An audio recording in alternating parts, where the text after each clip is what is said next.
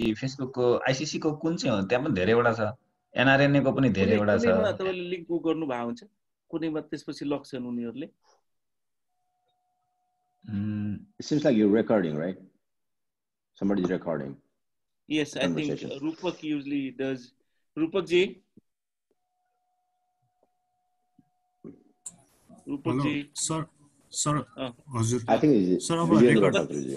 It's कति बजे सुरु गर्ने?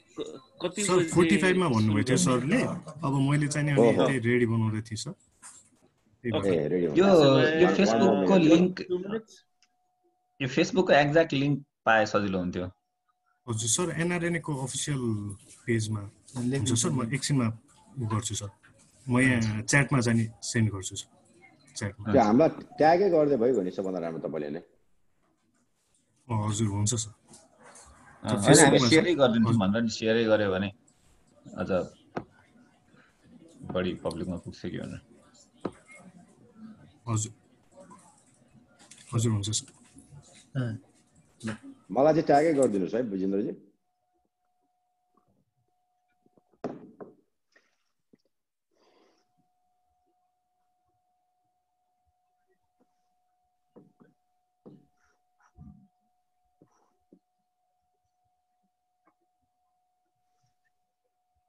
I think it's time. Yeah, Vijendra is okay to go live or? Sorry, uh, one minute, sir. More line. More. Okay. Whenever goes live, then please do tell us. Yeah.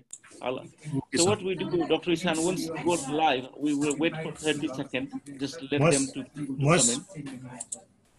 in. So I will be knowing here because I know that because I'm I'm I'm I'm live here, so I know that once once he gone in live or not.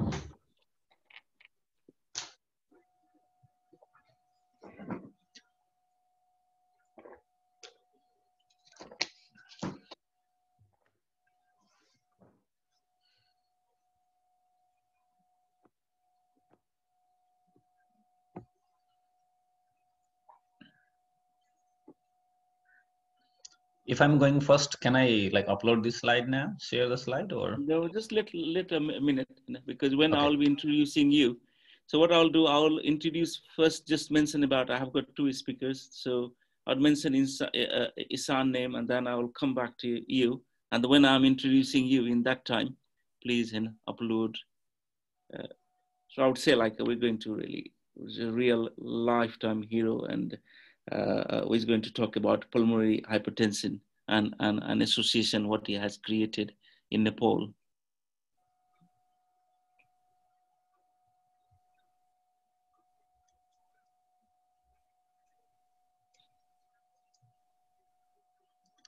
And since the targeted audience are mostly Nepalese anyway, so it's better to have like Nepali and English, you know, both. Yeah, yeah, yeah. I think uh, now in Nepal everybody ne नेपालीमै धेरै भने हुन्छ होला किनभने doesn't make any difference now in Nepal.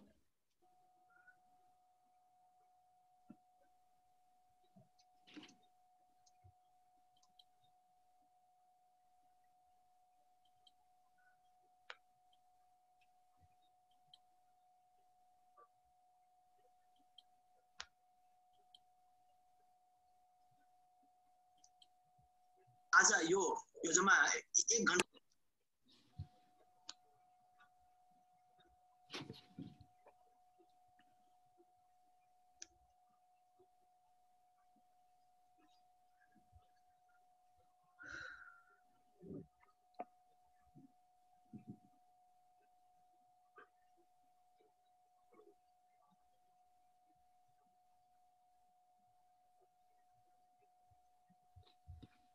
Uh, Vijendra Khatruji, there is something slide on up. एकैछिन sir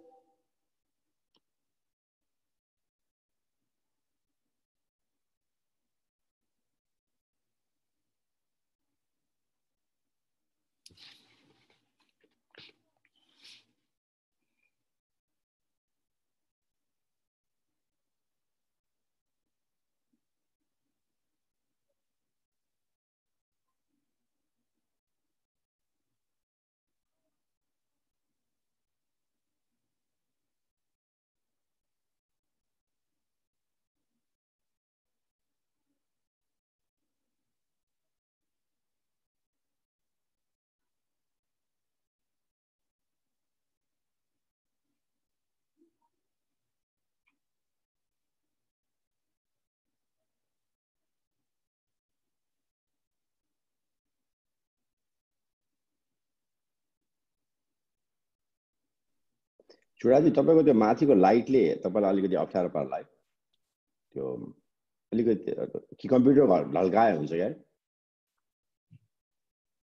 a a.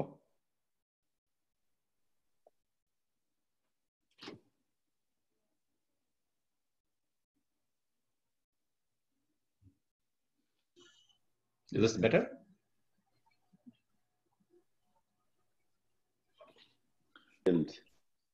a little bit. Okay. Yes. It's on first. So, so we're live now. Let me go and share. Yes, sir. Yes, sir.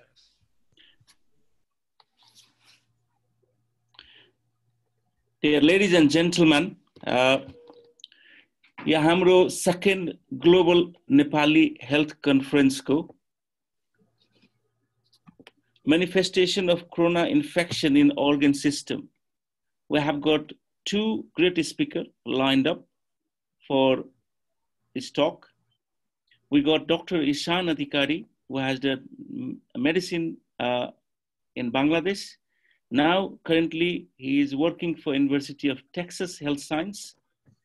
He is expert in epilepsy, neuromuscular, and autonomic disorder and he's also founder of Nepali League Against Epilepsy. So he is a expert in epilepsy. We have got second speaker, Dr. Chudamani Kanal, uh, who is our uh, PhD uh, who has done in America. He's a president of Pulmonary Hypertension Association in Nepal. He's a real lifetime hero, and I would like to hear from him first what he'd like to say about his story and about pulmonary hypertension. Thank you, uh, Churaji. All to you. Thank you, Dr. Sa. Thank you. Namaskar, everyone. Um,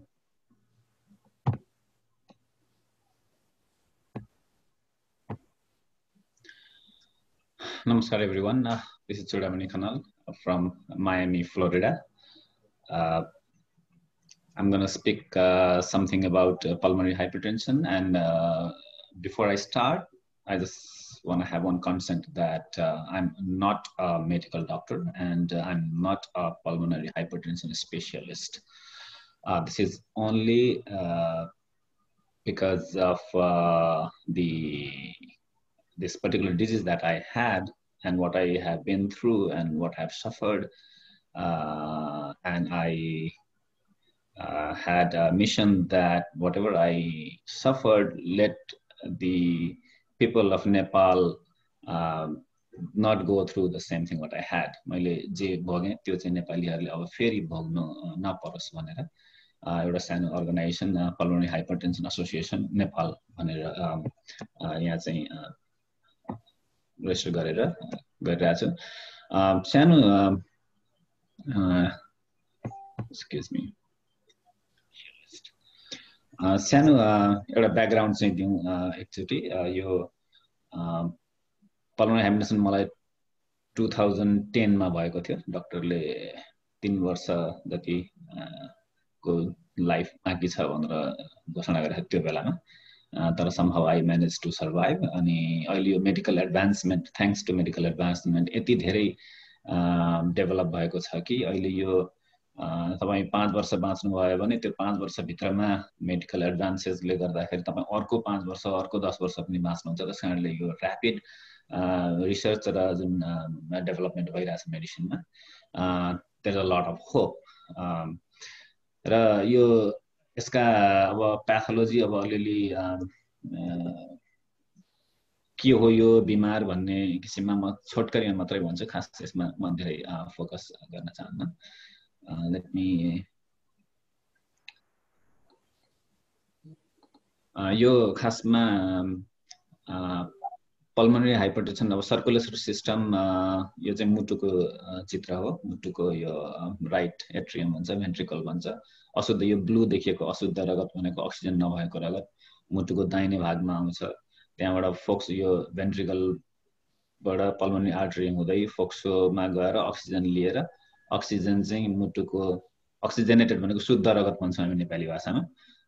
त्यो oxygen लिएर रगत चाहिँ देब्रे atrium अनि ventricle त्यहाँ valve हुन्छ ट्राइकोस्किप यो mitral valve भन्छ।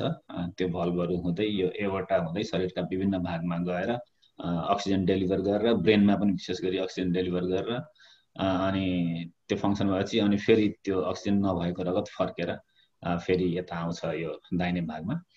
अब कुनै कारणवश यो पल्मोनरी आर्ट्रीमा मलाई थाहा छैन त्यहाँ माउस देखिन्छ कि देखिँदैन स्क्रिनमा तर यो कुनै पनि कारणवश यहाँ चाहिँ अलिक स्क्विज भयो अथवा यो आर्ट्रीहरूमा यहाँनिर यो दोस्रो चित्र हेर्नुभयो भने यो आर्ट्रीमा अलिकति यहाँ ब्लकेज भयो केही रोकियो भने चाहिँ यो प्रेसर यहाँ पर्छ यो राइट भेन्ट्रिकल हेर्नुभयो यो भने भेन्ट्रिकल यो यो लेफ्टको फिगरको राइट भेन्ट्रिकल सानो छ राइटको फिगरको राइट भेन्ट्रिकल एकदम लार्ज भएको छ एकदम ठुलो भएको छ किनभने यसले पम्प नै गर्न सक्दैन ब्लडलाई ठेल्नै सक्दैन किनभने अक्सिजन चाहिँ यसरी यो लङ्स चाहिँ एकदमै साँगुरो भइरहेको हुन्छ।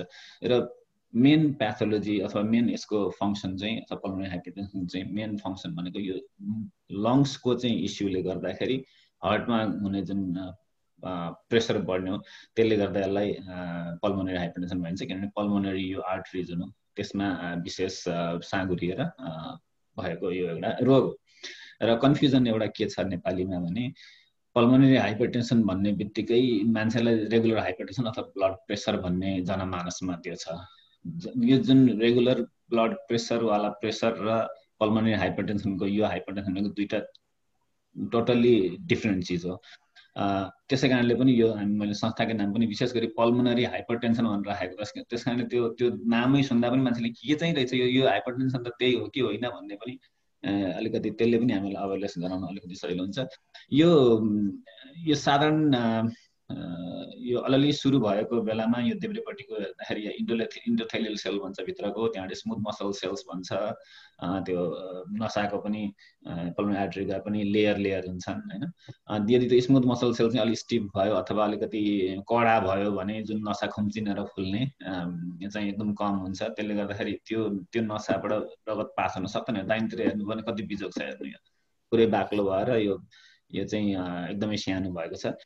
त्यस कारणले यी केही नम्बरहरू हुन् भनेको यो नर्मल प्रेसरको चाहिँ यो सिस्टोलिक एक सय बिस र असी भन्छ डायस्टोलिक एक सय बिस बाई असी। अब हाम्रो साइन्सको अथवा फिजिक्सको टर्ममा चाहिँ इन्जिनियरिङको टर्ममा चाहिँ सोह्र किलो प्यासकल दस किलो प्यासकल भन्छ। म यसमा चाहिँ धेरै जान चाहन्न खास यो राइट भेन्ट्रिकलको जुन हो नि पन्ध्रदेखि तिस आराम गरेको बेला पन्ध्र र तिन अलिकति एक्जर्सन भएको बेलामा तिस र सिस्टोलिक तिस र डायस्टोलिक आठ हो। यो यसमा चाहिँ म अलिकति बढी फोकस गर्न चाहन्छु किनभने यो मिन एभरेज प्रेसर चाहिँ हुनुपर्ने पन्ध्र चान्सन हो। अब यदि पच्चिस जति भयो भने चाहिँ त्यो त्यसलाई पल्मोनरी हाइड्रेसन भएको मानिन्छ। अनि पच्चिसभन्दा बढी अथवा काम गरेको बेला अथवा एक्जर्सन भएको बेला तिसभन्दा बढी भयो भने त्यो पल्मोनरी हाइड्रेसन हुन्छ। जेनरल भाषामा भन्दाखेरि। पल्मोनाइटिसका विभिन्न प्रकारहरू छन् किनभने यो प्राइमेरी भने इडियोप्याथिक भनेको कुनै कारणै बिना पनि पल्मोनाइटिस हाइपरटेन्सन हुनसक्छ त्यसलाई एडियोप्याथिक भन्छ। त्यसपछि लेफ्ट हार्ट डिजिजले त्यसपछि लङ्सको इस्युले अर्को सिटेफ भन्छ। सिटेफ भनेको ब्लड जम्यो भने उसमा। त्यो त्यसले गर्दा पल्मा ह्याम्पटन हुन्छ। अरू धेरै हुन्छ थाइरोइड डिसअर्डर हुन्छ एचआइभीदेखि लिएर धेरै पोलिसाइथेमिया भेरा धेरैलाई पनि धेरै क्याटेगोरी हुन्छ। तर यहाँ पनि केही डेटाहरू छन्। यहाँ इडियोप्याथिक भनेको चाहिँ जुन ग्रुप वान भन्ने हो इडियोप्याथिक कुनै कारण पनि पल्मोनरी हाइपरटेन्सन हुने भनौँ न कुनै चुरोट रक्सी पनि खानुहुन्न कुनै मादक पदार्थ पनि प्रयोग गर्नुहुन्न अथवा एकदम नर्मल गरिरहनु भएको छ तपाईँलाई पल्मोनरी हाइपरटेन्सन हुनसक्छ। त्यस्तो त्यस्तो केसहरूमा भनौँ न अथवा कोही प्रेग्नेन्ट महिलाहरू भनौँ न प्रेग्नेन्ट हुनुहुन्छ प्रेग्नेन्ट भएपछि उहाँलाई पर्मानेन्ट पर्मानेन्ट हाइपरटेन्सन हुनसक्छ कहिले त्यस्ता पनि केसहरू छ। अब त्यसो भएर बच्चै नपाउने भन्ने पनि भएन। अनि यो यो कुनै कारण बिना यसको कुनै रिजन बिनै पनि पल्मोनरी हुनसक्छ। अनि अरू पनि छ एचआइभी सिकल सेल डिजिज भन्छ ड्रग्सहरू खाएकोलाई पल्मोनरी हुनसक्छ। धेरै छन् यसका उयोहरू चाहिँ। यहाँ केही ट्रिटमेन्टहरू एभाइलेबल छन्। खास यो प्रोस्टासाइक्लिन एनालग भन्छ अनि इआरए भन्छ इन्टरथेल रिसिप्ट अनि पिडी फाइभ भन्छ। नेपालमा विशेष गरी पाउने अहिलेसम्म मैले थाहा पाए अनुसार यो इआरएको यो बोजेन्टन भन्ने पाइन्छ दोस्रो हेर्नु भने बोजेन्टन भन्ने पाइन्छ अनि सिल्डेनाफिल टाडाफिल यो भायाग्रा पनि भन्छ। सिल्डेनाफिल र टाडाफिल पनि अर्को एकदम नेपालमा पाइने चाहिँ औषधिहरू हो। अरू त्यसबाहेक एम्ब्रिसेन्टन मेसिटेन्टन यो अनि यो जुन पहिलो प्रोस्टासाइक्लिन एनालग हो प्रोस्टासाइक्लिन एनालग भनेको चाहिँ मुटुमा छेड्रो दुलो बनाएर त्यहाँबाट क्याथेटर राखेर बाहिर पोको बोकेर बसिरहनुपर्छ क्या पोको पोकोमा राखेर। अलवेज लाइफभरि नै एउटा झोला बोकिरहेको हुन्छ एउटा त्यो त्यो पेसेन्टले त्यो चाहिँ नेपालमा एकदमै फिजिबल छैन सम्भव पनि छैन। र मैले बुझेसम्म यो ग्रुप वानको मोस्टली इडियोप्याथीको लागि चाहिँ त्यो त्यो ट्रिटमेन्ट मात्रै अलिक लाभदायक छ। मेरो एउटा साथी छ उसको एउटा बुक पनि थियो। त्यो बुक मैले त्यो पढाएको थिएँ। उसलाई तिन वर्षमै तिन दुई वर्ष तिन वर्षकोमा उसलाई त्यो भएको रहेछ। यहीँ फ्लोइडामै हुँदाखेरि। अनि त्यो बच्चाले चाहिँ अब आमाले भनौँ न विशेष गरी अब बच्चालाई अब त्यो मुटुमा त्यो पाइप जोड्या छ बाहिर औषध तिरनु पर्ने सुतेको बेडमा पनि गएर हेर्नु पर्ने अब यहाँ त आमासँग सुत्दैनन् बच्चाहरू अलग्गै नै सुत्छन्। अनि खालि त्यो बच्चा कोठामा गयो हेऱ्यो कता त्यो त्यो दुई अढाई वर्षदेखि लिएर अहिले she's more than twenty years न उसले बुक पनि लेखाएको छ उसको स्टोरी एकदम एकदम टचिङ छ कि। त्यस कारणले भन्न के खोजेको यहाँ भन्दाखेरि यो थ्याङ्क्स टु यो चाहिँ प्रोसोसाइक्लिन एनालगको औषधिहरू। समस्या के हुन्छ जसको लागि रेफ्रिजरेटर चाहियो त्यो औषधिको त कार्टुन कार्टुन चाहियो घरमा घर नै एउटा गराज जस्तो बनाउनु पर्यो। नेपालमा त्यो सम्भवै छैन। यो यो यो एकदमै गाह्रो छ। अब कसरी लाने त्यसमा पछि हामी छलफल गर्दै गरौँला यो केही डेटाहरू छ होइन? यो महिलाहरूलाई धेरै हुन्छ पुरुषलाई कम छ। यो चाहिँ अमेरिकन डेटा अमेरिकन एउटा सानो मैले चाहिँ यो रन गरेको भनौँ न हाम्रो ग्रुपले यसो रन गरेको। प्राइमेरी पिएच चाहिँ यो प्राइमेरी चाहिँ सुरुमा चाहिँ यसको मृत्यु सङ्ख्या धेरै थियो तर अहिले चाहिँ त्यो एकदमै कम छ। किनभने त्यही औषधि भनौँ न त्यो बेसिकली फ्लोलानहरूले गर्दा। र अफ्रिकन अमेरिकनहरूमा यो अझ स्टेज अमेरिकाको केसमा। नेपालको केसमा हामीले केही यस्तो रिसर्च गर्नै सकेका छैनौँ। नेपालमा धेरै कम्प्लिकेसन छ किनभने त्यो म पछि फेरि डिस्कस गर्दै गर्छु।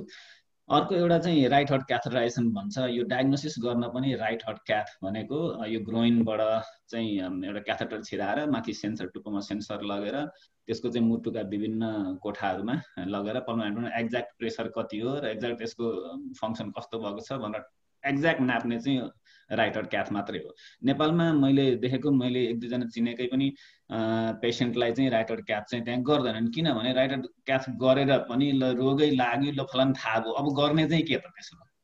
अनि त्यस कारणले त्यो किन खर्च गर्नु? त्यत्रो त्यो क्याथ गर्नु दुनियाँ गर्ने भने यस्ता धेरै समस्याहरू छन् नेपालमा।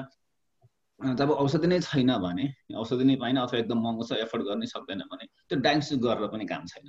यी केही एक्सक्युज मी नम्बरहरू हुन् म म यसमा धेरै डिस्कस गर्न चाहन्न। यो अर्को एउटा रिसर्च गरेको थिएँ मैले। यो यो रिसर्च चाहिँ यो म म जहाँ पेसेन्ट हस्पिटल हो त्यही हस्पिटलमा एउटा रिसर्च गरेको। यहाँ सत्ताइसजना पेसेन्टको यो हो भनेको राइटर क्याथ गर्दाखेरि नाइट्रिक अक्साइड एउटा अर्को औषधि पनि त्यहाँबाट पठाइरहने। पठाउँदाखेरि चाहिँ त्यो प्रेसर घट्छ कि घट्दैन भनेर लाइभ एक्सपेरिमेन्ट गरे हो। अनि सबै प्रायः घटिरहेको छ एक दुईजनाको घटेको छैन।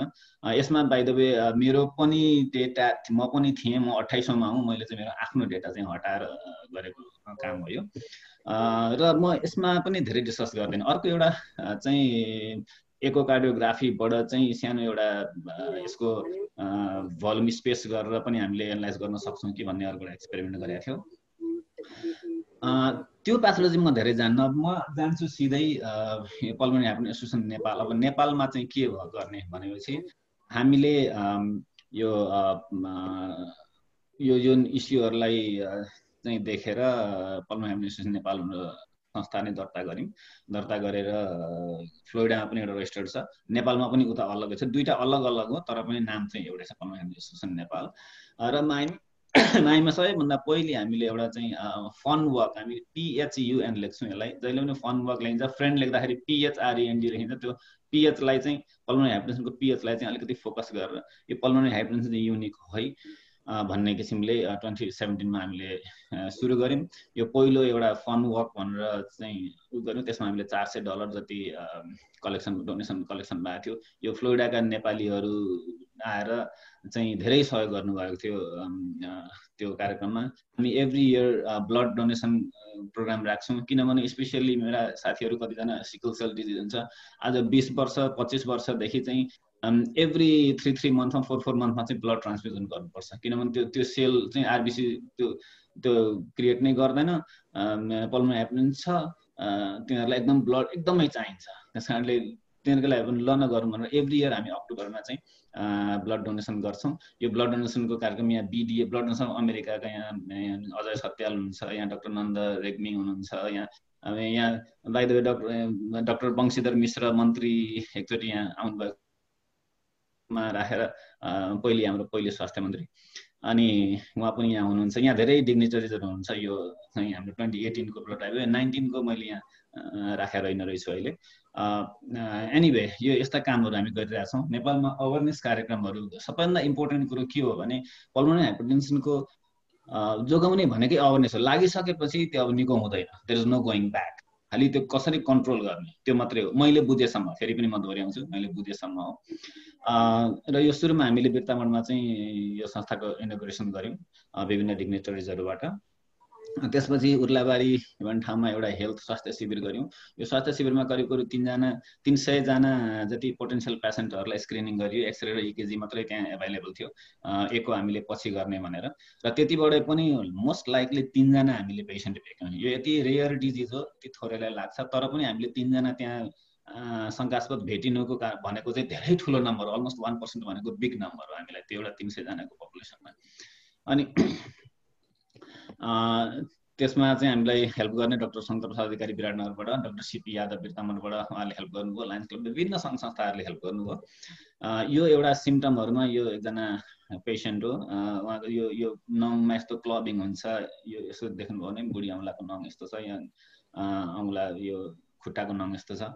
त्यस कारणले त्यो क्लबिङ एउटा अर्को सिम्टम हो। यो यो बच्चा त्यहीँ त्यहीँ फेला परेको अब के हो उसलाई थाहा छैन। अब सिम्टम चाहिँ ठ्याक्कै पल्मा हेर्नुसँग मिल्छ।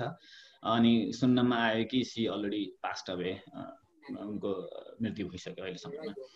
र अर्को एउटा एक्जाम्पल छ यहाँ उहाँ चाहिँ अक्सिजनमा हुनुहुन्छ। नेपालमा महिलाहरूलाई चौबिसै घन्टा कोठाभित्र चौबिस घन्टा अक्सिजनमा बस्नु भनेको कति हुन त जहीँ पनि जहीँ पनि धेरै नै सेन्सिटिभ कुरो हो कोठामा बसिरहने भनेको। तर विशेष गरी नेपालमा महिला भनेपछि अलिकति त्यो हेर्ने दृष्टिकोण पनि फरक छ। दिस इज भेरी टचिङ यो एउटा सिम्पल मेरो मेरो मुवाले यसो गर्नुहुन्छ। मेरो बुवाहरू हुनुहुन्छ हेल्प गरिरहनु भएको छ। यहाँ यो बच्चालाई त्यस्तै बिरामी भएकोलाई अब धेरै होइन हामी पन्ध्र हजार दिन्छौँ एकजनालाई नेपाली रुपियाँ यसो कन्सोलेसन बापत ट्रिटमेन्ट गर्न सकिँदैन त्यसपछि यहाँ एउटा त्यतिखेर एउटा सेमिनार गऱ्यौँ हामीले ट्वेन्टी एटिनमै उहाँ चाहिँ यहाँ स्पेसियलिस्टहरू कार्डियोलोजिस्टहरू हुन्थ्यो। नेपाल अमेरिकाकै एकजना कार्डियोलोजिस्ट डक्टर हाबियर ह्युमेनिज भन्ने पल्मोनी ह्याप्टन स्पेसलिस्ट हो। उहाँले चाहिँ टक दिनुभएको थियो मैले एरेन्ज गरेको थिएँ। अनि त्यहाँ चाहिँ त्यतिखेर थ्याङ्क्स टु अब डक्टर भूपेन्द्र बस्नेत हुनुहुन्छ यहाँ अनि विभिन्न कार्ड कार्डियोलिस्टहरू हुनुहुन्छ। उहाँहरूले चाहिँ यो अर्गनाइज गरेर भनौँ न हाम्रो डक्टर प्रकाश राज रेग्मी हुनुहुन्थ्यो डक्टर रत्नमणि गजुरेल अहिले हाम्रो टियुमा चाहिँ क्याथ ल्याबको हेड हुनुहुन्छ। उहाँहरूले धेरै सपोर्ट गर्नु धेरै हामीलाई चाहिँ सपोर्ट गर्नुभएको थियो नेपालको केसहरूमा। अनि मैले त्यो एउटा टेलिभिजनमा यसो ऊ पनि दिएको थिएँ पल्मा विषयमा अलिकति मैले जाने बुझेसम्मको कुराहरू सेयर गरेको थिएँ लाइभ त्यो बेलामा। अहिले लेटेस्ट चाहिँ हामीले अस्ति मार्च फोर्टिनमा एउटा रामेछापमा हेल्थ स्क्रिनिङ क्याम्प गऱ्यौँ। त्यसमा चाहिँ डक्टर सुमन कर्मचार्य डक्टर मनोज श्रेष्ठ चितवनबाट उहाँले चाहिँ भोलिन्टियरली हेल्प गर्नुभएको थियो। थ्याङ्क्स टु देम अनि लगभग तिन सयजनालाई नै त्यहाँ दुई सय त्रिहत्तरलाई हेरेका थियौँ हामीले। जसमध्ये छब्बिसजना चाहिँ अलिकति फलोअपको लागि अलिक क्रिटिकल अझै हामीले त्यसलाई विशेष गरी हेर्न पाएको छैनौँ ती बच्चाहरूलाई।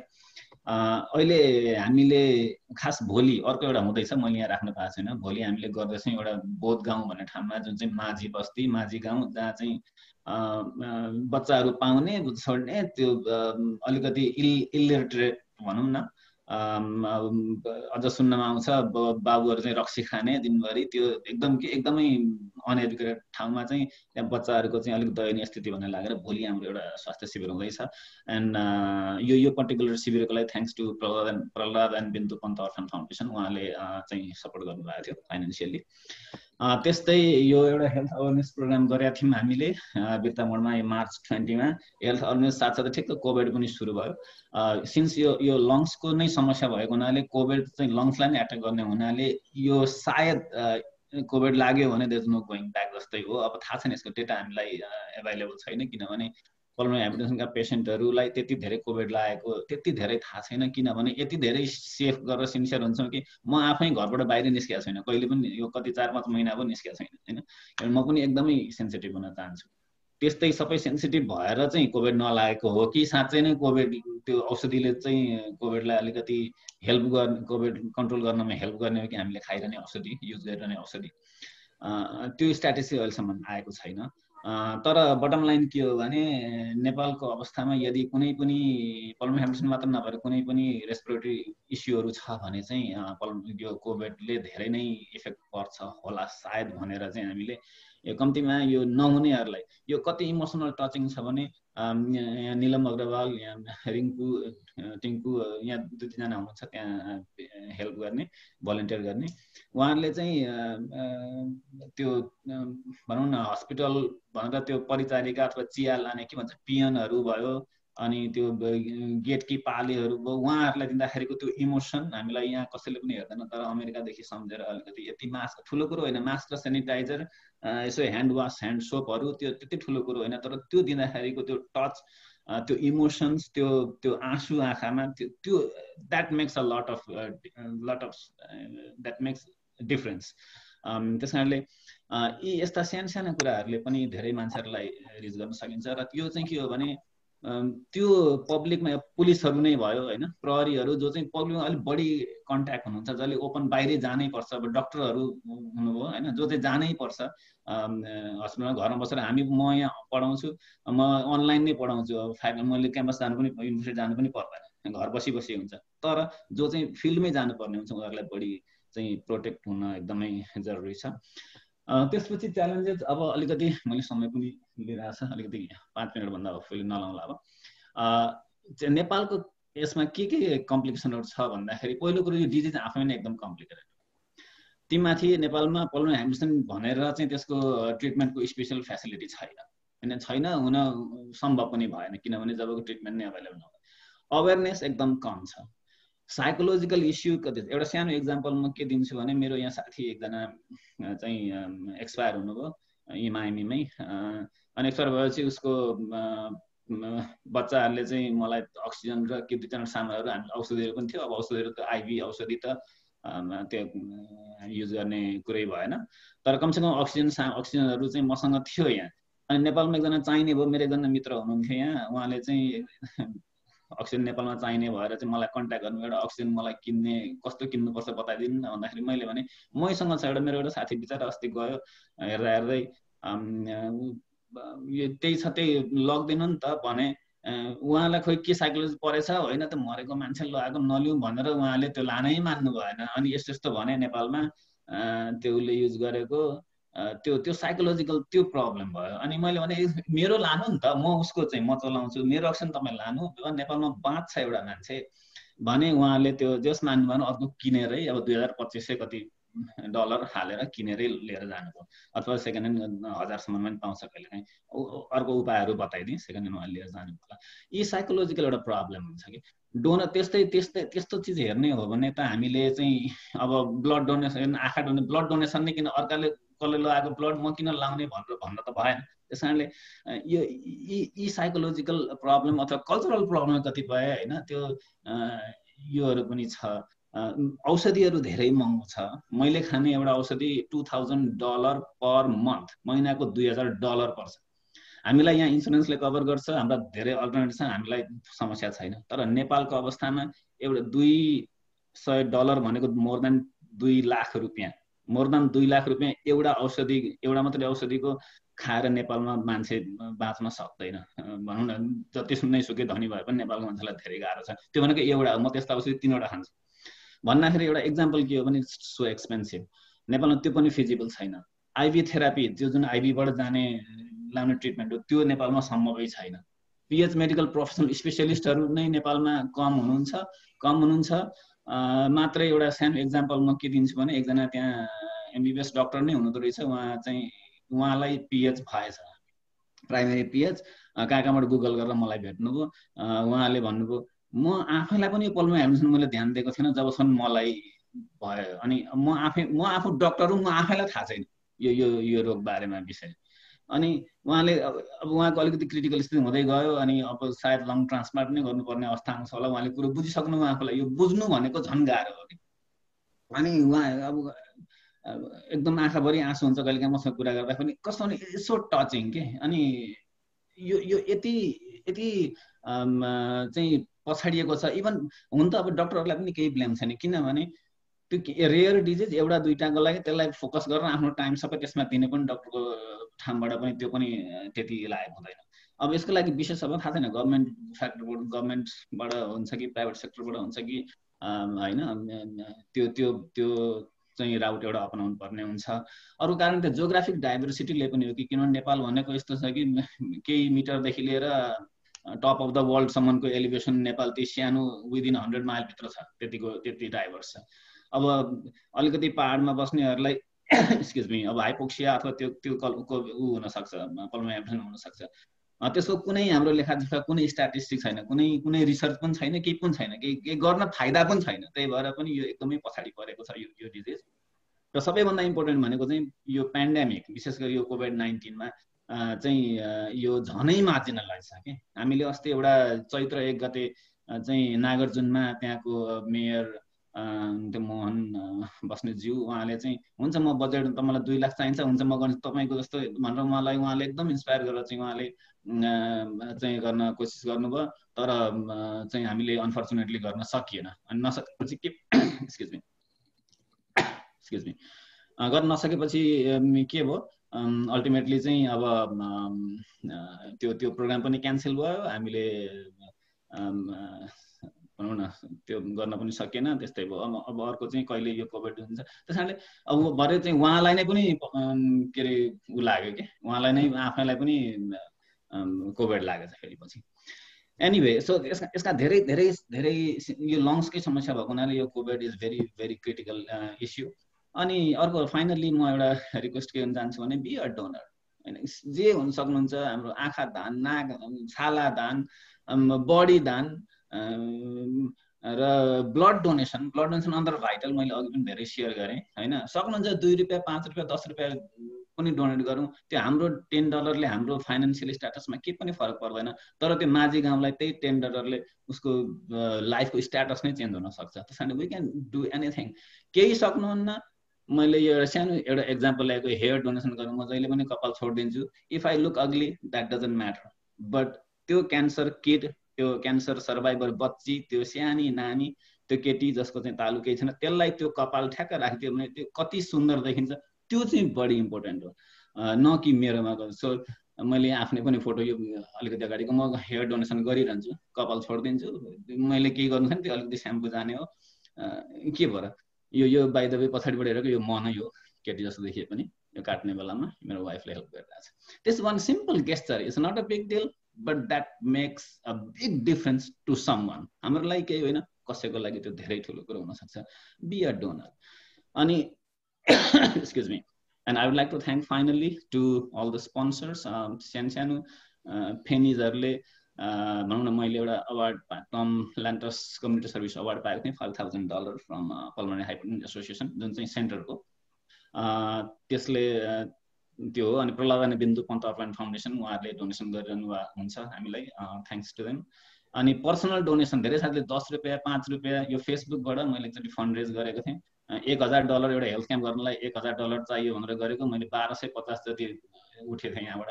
I was very happy to do one health con health camp in Nepal and thanks to all the medical professional and all the volunteer सबैभन्दा धेरै भ्यालुएबल एकदम priceless thank you to medical professional who volunteer there all the doctors and nurses and and public general public general volunteers thank you so much and you can visit phnepal.org or Facebook PH Association Nepal. Uh, thank you. Dr. Chuda, it was great, fascinating talk. You're a really real-time hero. And I, am pretty sure people will watch your talk in Facebook because it's Facebook Live. They will not watch today, they will watch the day to come. And I hope many, many Nepali will follow your path to go back Nepal and do and give something. What you mentioned, there is quite really a lot of vital points. Uh, sorry, I think we can't really take any question. There was a few question as well, and I had question to ask because due to time, I would really, if we have time in the end of uh, session, then we will have, because I need to hear from Ishan. Uh, yeah. Ishan, uh, as you mentioned, he, I did uh, graduation in Bangladesh. He did in Bangladesh. Now he lives in America. He's a epilepsy, neuromuscular autonomic disorder. Uh, uh, he's working in University of Texas. I would like to hear from him. Ishan, stage to you. Thank you very much, uh, Dr. Shah. And it was pleasure being here. And I would like to thank uh, NRNA community for providing um, this platform. अनि हामी नेपालमा भएको सबै दाजुभाइ दाजुदिबहिनीलाई नमस्कार. Uh, before I start, let me try to share my screen here. Uh, let me know, Dr. Shah, if you can see my screen. Um, uh, is it on? Can you see it? Yeah, it's on. Yeah, that's great. Thank you. All right. So um, what we're gonna do here is uh, uh, this is uh, this is me.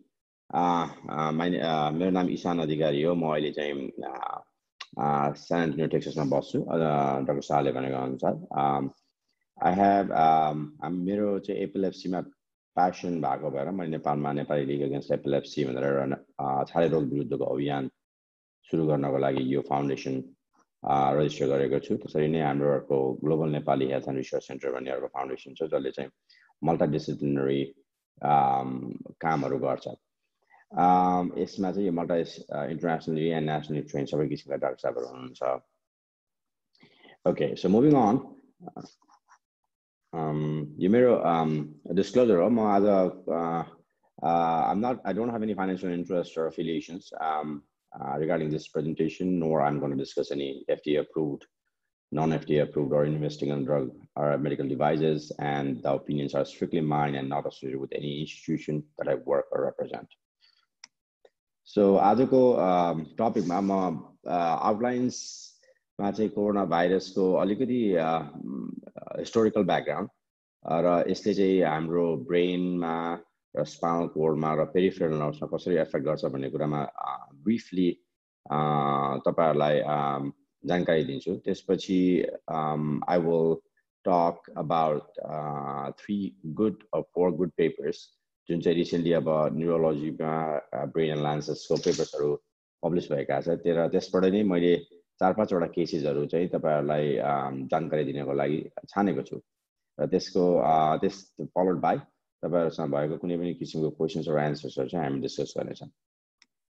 अब history हेर्दाखेरि म यो डिटेलमा यो slide पछि available भइ नै हाल्छ त्यो भएर यसलाई चाहिँ उ गर्नुपर्ने चाहिँ छैन पढ्नुपर्ने। अब हामी चाहिँ यसलाई के गर्न सक्छौँ भन्दाखेरि चाहिँ म यसको बारेमा चाहिँ के भन्न चाहन्छु भन्दाखेरि चाहिँ यो सुरु हुँदाखेरि चाहिँ हाम्रो दुइटा दुई हजार तिनमा सार्स भन्ने जुन आयो र दुई हजार बाह्रमा मर्स भन्ने आयो त्यो सँगसँगै नै त्यसकै सिमिल्यारिटीमा नै यो corona virus SARS CoV two भन्ने भाइरस हो। र त्यति बेला चाहिँ सङ्ख्या चाहिँ सार्स र मर्सले गरेको सङ्ख्या चाहिँ कम भएको भएर टोटल पपुलेसन र ग्लोबल पपुलेसनमा न्युरोलोजिकल प्रब्लम्सहरू पनि कम देखिए। तर न्युरोलोजिकल प्रब्लम्स जति देखिए त्यसमध्येमा चाहिँ ब्रेनमा हुने एन्सेफलोपथी अथवा एन्सेफलाइटिस हामी भन्छौँ अथवा स्ट्रोक पक्षघातहरू भन्ने कुराहरू हुन्छ जुन चाहिँ यो चाहिँ हाइपरकोएबिलिटी स्टेटहरूले गर्दाखेरि देखिन्छ। त्यो कुराहरू चाहिँ देखिएको छ। त्यसै गरी अर्को हेर्दाखेरि चाहिँ हाम्रो यो टोटल केसेस अफ सार्स चाहिँ आठ हजार थियो भने मर्स चाहिँ पच्चिस सय थियो त्यो बेलामा। त्यसको आधारमा हामीले चाहिँ न्युरोलोजिकल मेनिफेस्टेसन चाहिँ ट्याली गर्दाखेरि त्यति मात्र पाएको थियौँ। अब यसमा चाहिँ अब अब मुभिङ फरवर्ड चाहिँ हाम्रो चाहिँ अब यसमा रेलिभेन्ट पब्लिस पेपर्सहरूमा चाहिँ यो तिन किसिमको पेपरहरू चार पाँचवटा पेपरहरू छन्। यो चाहिँ रिसेन्टली पब्लिस भएको पेपर्सहरू हो। यो पबमेडमा पनि अभाइलेबल छ गुगलमा पनि अभाइलेबल छ। You guys can go and look at it अब अब हाम्रो यसमा न्युरो भाइरस चाहिँ न्युरो ट्रपिक भाइरस हो कि होइन भन्ने कुराको जानकारी लिँदाखेरि कोरोना भाइरसले के ब्रेनमा साँच्चीकै अफेक्ट गर्छ त भन्ने कुरा बुझ्नु पऱ्यो हो यसले गर्छ यसले किन गर्छ भन्दाखेरि यसको पनि दुई तिन किसिमका भे भेरिएन्टहरू देखिएका छन् अल्फा बेटा एन्ड ग्यामा भन्ने। त्यसमा चाहिँ हामीले बेटा भाइरसलाई चाहिँ बढी मान्यता दिएका छन्। जसले चाहिँ हाम्रो ब्रेनमा बढी अफेक्ट गरेको पाइएको छ। अरू अरू भाइरसको बारेमा मैले खालि यो जान डाक्टर साहबहरूलाई अथवा मेडिकल हेल्थ पर्सनल्सको जानकारीको लागि राखेको र पछि यो slides it will be available for you all. अब भाइरसले कसरी जान्छ त ब्रेनमा भन्ने कुरा बुझ्नु पनि राम्रो कुरा हुन्छ र मास्क र सोस व्यक्तिगत तथा सामाजिक दूरीको महत्त्व के भन्ने कुरा यसले पनि एकदम क्लियरली रूपमा चाहिँ it can it can tell you. So पहिला त भाइरस आउनु पर्यो अब हाम्रो यो नाकबाट नै भित्र गएर यहाँ चाहिँ अल्फ्याक्ट्री नर्भ भन्ने हुन्छ जुन चाहिँ जसले चाहिँ गर्दाखेरि त्यसको चाहिँ डिरेक्टिभ रिलेसन चाहिँ हाम्रो चाहिँ ब्रेनमा क्रिफिम प्लेटबाट जान सक्छ। त्यसबाट एउटा किसिमले जाने भयो। अर्को किसिमले जान सक्ने भनेको चाहिँ नर्भ नर्भको बिचमा सिनाप्टिक लेफ्ट भन्ने हुन्छ। त्यसबाट रेट्रोग्रेड ट्रान्समिसनबाट पनि जान सक्छ।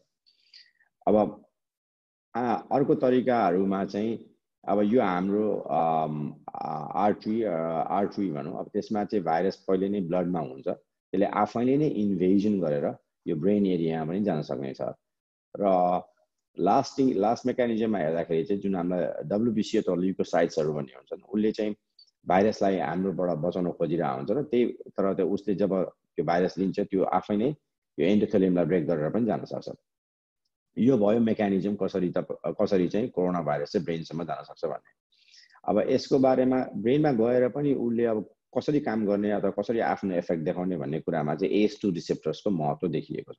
एस टू रिसेप्टर्स भनेको सबै ठाउँमा हुने कुराहरू हुन् र ब्रेनको पनि सर्टेन पार्ट्सहरूमा र सर्टेन एरियाजमा यो म्याक्सिमम् नम्बरमा एक्सप्रेस भएको हुन्छ र म्याक्सिमम् नम्बरमा देखिएको हुन्छ।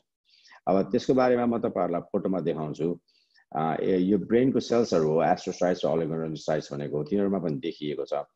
अब यो ब्रेनको पिक्चर हेर्नुभयो भने यो एरियाजहरू जुन मैले यहाँ आउटलाइन गरेको छु त्यो एरियाजहरूमा चाहिँ म्याक्सिमम् नम्बरमा चाहिँ एस टू रिसेप्टर एक्सप्रेस भएको छ।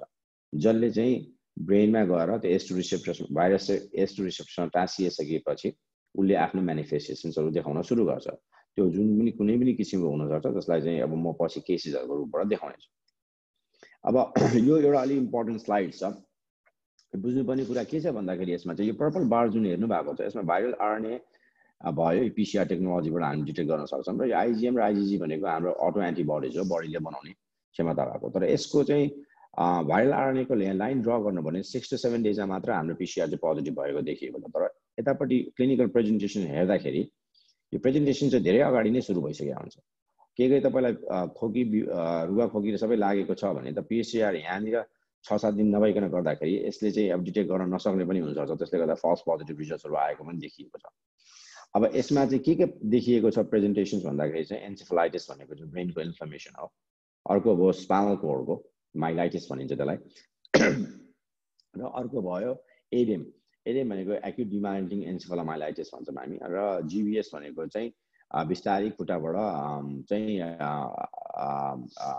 स्लोली एसेन्डिङ प्यारालाइसिस हुन्छ। त्यसले गर्दाखेरि चाहिँ हामीले चाहिँ त्यसलाई चाहिँ खुट्टाहरू बिस्तारै कमजोर हुँदै जाने र हात खुट्टा चलाउन गाह्रो हुन्छ। तर यो त भयो डायग्नोस्टिक गर्ने पिसिआर गर्ने टेक्नोलोजीको यहाँको कुरा गऱ्यौँ क्लिनिकल प्रेजेन्टेसन गऱ्यौँ। तर आइजिजी र आइजिएमको रोल चाहिँ हाम्रो बडीले आफैले बनाउन सक्ने क्षमता भएको एन्टिबडिज हो। तर यसको चाहिँ हाम्रो जिउमा कति वर्ष कति महिनासम्म बस्छ भन्ने कुरा चाहिँ अझसम्म पुष्टि भइसकेको छैन। It can stay as for month र इयर्स यो चाहिँ अब अरू भाइरस जस्तै कुराहरू हुन्। एक्सक्युज मी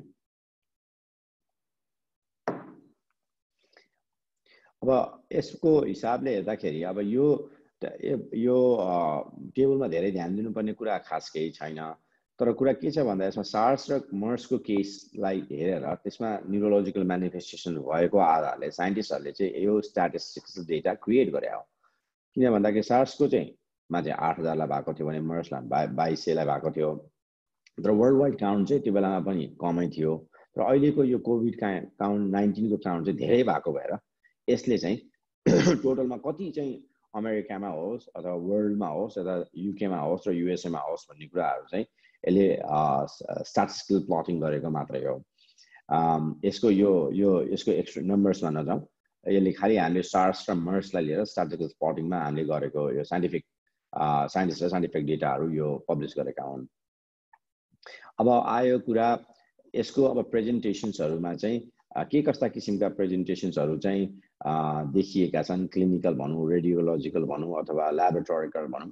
अब यसमा चाहिँ यो केसेसहरू हामीले त्रिचालिसजना मान्छेकोबाट हेर्दाखेरि अहिलेसम्मको कोभिड नाइन्टिन भएकाहरूमा एन्सेफलापति भनेको अघि भनेको जस्तै ब्रेनमा हुने सुजन अथवा स्वेलिङ त्यस्तै किसिमले इन्फ्लेमेसन पनि हुनसक्छ र स्ट्रोक हुने कुरा भयो। र पेरिफरल सिस्टममा अघि मैले भनेको ज्ञान बेरी सिन्ड्रोम भन्छौँ हामी जसलाई।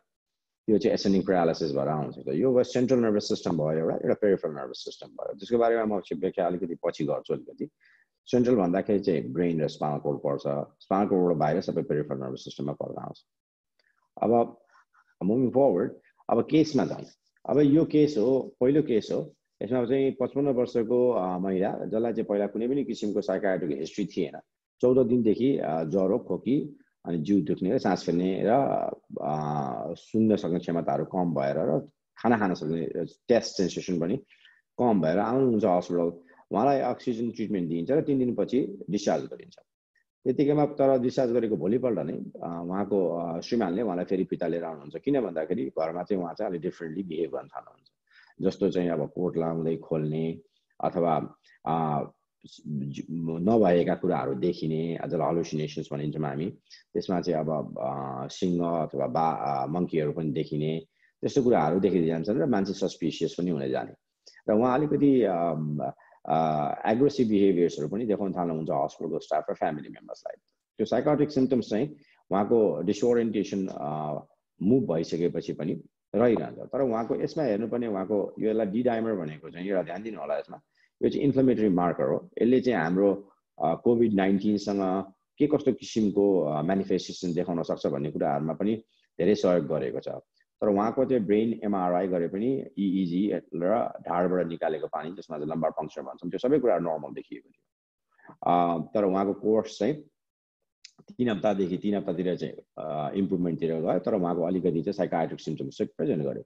यसले के देखाउँछ भन्दा कोभिड ठिक भएर गए तापनि साइकाट्रिक सिम्टम्सहरू अरू किसिमले पनि आउन सक्छ जुन चाहिँ कोभिडको पोस्ट इफेक्टमा पनि पर्न सक्छ भन्ने कुरा एउटा पहिलो केसले देखायो। अब दोस्रो केस यसलाई चाहिँ हामी एक्युट प्रा इन्फेक्सियस एन्सेफ्लापथी विथ साइकोसिस भनेर भन्छौँ। अब आयो दोस्रो केस दोस्रो केसमा पैँसठी वर्षको महिला हुनुहुन्थ्यो जो चाहिँ अब साधारणत अलिकति अल्जाइमर्स डिजिज जस्तो रोग लागेको सा माइल्ड फर्ममा हुनुहुन्थ्यो। उहाँलाई चाहिँ खोकी अनि जिउ दुख्ने र ज्वरो आएको थियो। बिस्तारै उहाँलाई बोल्न पनि समस्या हुन थाल्यो र त्यस त्यसै गरी उहाँले पनि चाहिँ रुममा भएको धेरै किसिमको हलुसिनेसन्सहरू नहुने कुराहरू पनि देख्न थाल्नुभयो त्यत्तिकैमा आँखाको भिजन शक्ति पनि कम हुँदै गयो र पढ्न सक्ने क्षमता पनि अलिकति कम भयो। अनि अब त्यति भएको थियो तर हस्पिटल आइपुग्दाखेरि चाहिँ उहाँलाई कस्तो हुन थाल्यो भन्दाखेरि हामी स्टिमु स्टिमुलस सेन्सिटिभ मायोटोनस भन्छौँ त्यसमा चाहिँ कुनै पनि एउटा स्टिमुलस अब नोइज स्टिमुलस होस् वा म्युजिक स्टिमुलस होस् वा कुनै पनि स्मल नोइजले चाहिँ हाम्रो बडीले एक्जाजरेट रेस्पोन्स देखाउँछ। जस्तै स्टारल रेस्पोन्स देखाएर हात खुट्टा चारवटा फाल्ने भन्छ त्यसलाई हामी चाहिँ sensitive stimulus sensitive sensitive myotonus भनेर बुझ्छौँ। त्यो त्यो त्यही आधारले उहाँको आँखामा पनि त्यही अनुसारको फाइन्डिङहरू देखिन थालियो र बोल्न सक्ने क्षमताहरू अलिकति कम हुँदै गयो। उहाँ चाहिँ उहाँको चाहिँ पिसिआर गर्दाखेरि नाकको पिसिआर गर्दाखेरि चाहिँ उहाँ पोजिटिभ देखिने हुन्थ्यो।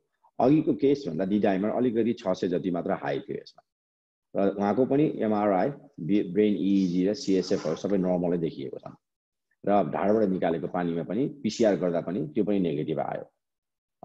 र अरू किसिमका यो हायर एन्टाबडिज भन्छौँ हामी चाहिँ जुन चाहिँ एन्सेफलाइटिस र यसले चाहिँ डिटेक्ट गर्छ त्यो कुराहरू पनि यसमा नेगेटिभै देखियो।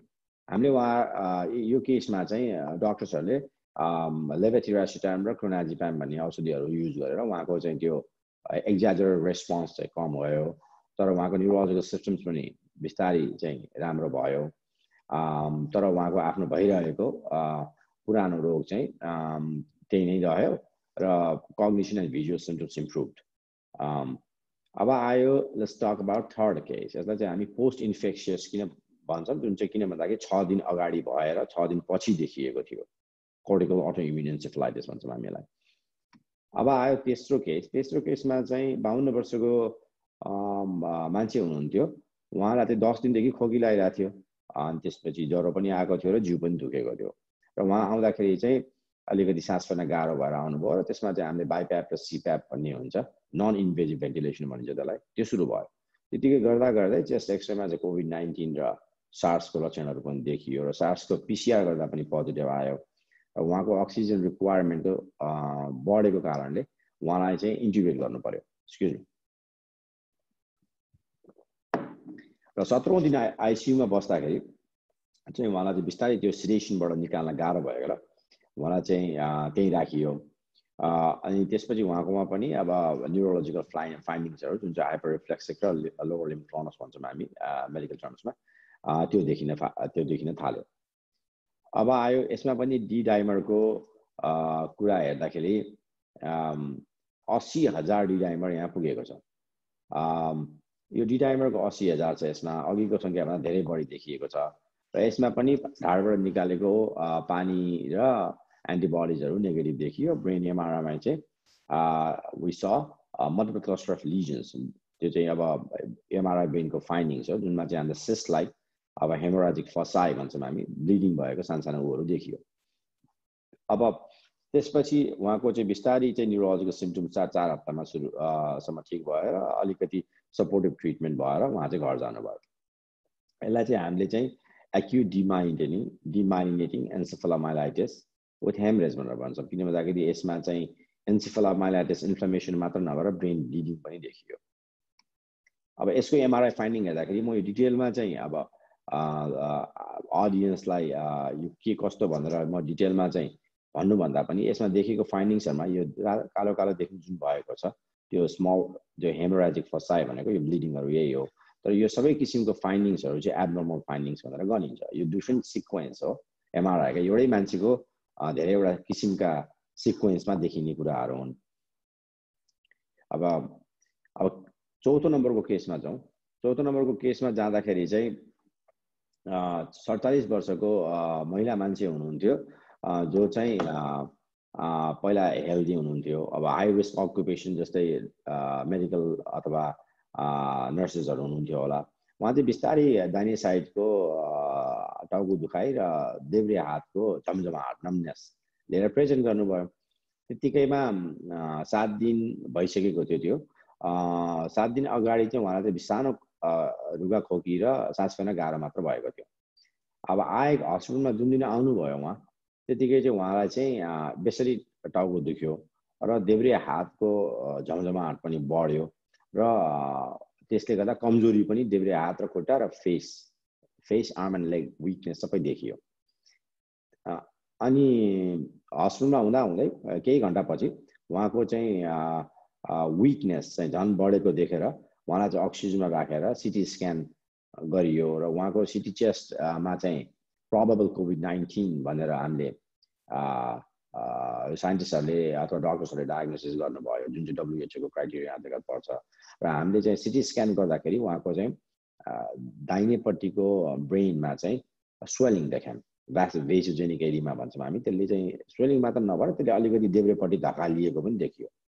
त्यतिको हुँदा हुँदै एमआरआई गऱ्यौँ हामीले एमआरआई गरेपछि चाहिँ त्यसले पनि त्यही नै सिटीमा देखाएको जस्तै देख्यो तर यसले अलिक बढी मात्रामा देखाउने भएको भएर यसले चाहिँ दस मिलिमिटर चाहिँ लेफ्ट वर्ड सिफ्ट भन्छौँ त्यसलाई चाहिँ हामीले त्यति नभएर ब्रेनको हर्निएसन पनि गर्छ त्यसले चाहिँ बढी ऊहरू चाहिँ सिम्टम्सहरू न्युरोलोजिकल सिम्टम्सहरू चाहिँ खतराहरू चाहिँ बढी देखाउँछ त्यो पनि देखियो र यसमा चाहिँ डिडाइमा त्यति धेरै बढेको थिएन तर उहाँलाई चाहिँ हामीले चाहिँ अब स्टेरोइड र बाट सुरु गऱ्यौँ अनि त्यसपछि चाहिँ उहाँको चाहिँ सोच्न सक्ने कन्सियसनेस लेभल झर्दै गयो र आँखाको त्यो प्युपल डाइलेसन पनि फिक्स्ड भयो। जुन चाहिँ हामी युजली चाहिँ हर्निएसन यो सब फाल्सिन हर्निएसन र कुनै पनि किसिमको ब्रेन हर्निएसनमा देख्छौँ। र उहाँलाई चाहिँ प्रेनिजोनहरू सबै सुरु गरियो। पछि चाहिँ चार दिनपछि चाहिँ हामी एक्सट्युबेट गऱ्यौँ इन्टिबेटबाट र उहाँको चाहिँ क्लिनिकल्ली उहाँ इम्प्रुभ हुनुभयो। र आफू हिँड्न सक्ने भएर घरमा जानुभयो। तर यसलाई यसमा चाहिँ इन्ट्रेस्टिङ कुरा के छ भने यसमा चाहिँ ब्रेन टिस्युको बायोप्सी हामीले जुन गरेका थियौँ त्यो पनि नेगेटिभ देखिएको थियो सार्स पिसिआर कोभिड टूबाट भन्नाले कोभिड टू कोभि कोभिड नाइन्टिनको सार्स कोभिड टू भएको चाहिँ पाइएको छ सिटी स्क्यान चेस्टबाट नेरो नाकको पिसिआरबाट तर ब्रेनको टिस्युजमा र ढाडबाट निकालेको पानीमा चाहिँ यो कुराहरू देखिएका छैनन्। बुझ्नुपर्ने कुरा यो छ यसमा। र यसलाई चाहिँ हामीले चाहिँ एडिएम अथवा acute haemorrhagic encephalopathy of hyper acute demyelinating encephalomyelitis भनेर भन्छौँ। यो एकदम लामो र अलिकति कम्प्लिकेटेड टर्म छ। र उहाँको चाहिँ डिकम्प्रेसिभ क्रेनियोटमी पनि गर्नु परिएको थियो। अब आयो हाम्रो केस नम्बर पाँच जुनमा चाहिँ अन्ठाउन्न वर्षको मान्छे हुनुहुन्थ्यो। उहाँ पनि त्यसै गरेर हस्पिटल अथवा हाई रिस्क एरियामा काम गर्ने मान्छे हुनुहुन्थ्यो। उहाँ चाहिँ एकदम एक्कासी चाहिँ बोल्न नसक्ने र दाहिने साइड चाहिँ पुरै चाहिँ विकनेस भएर उहाँ आउनुभयो अस्पतालमा।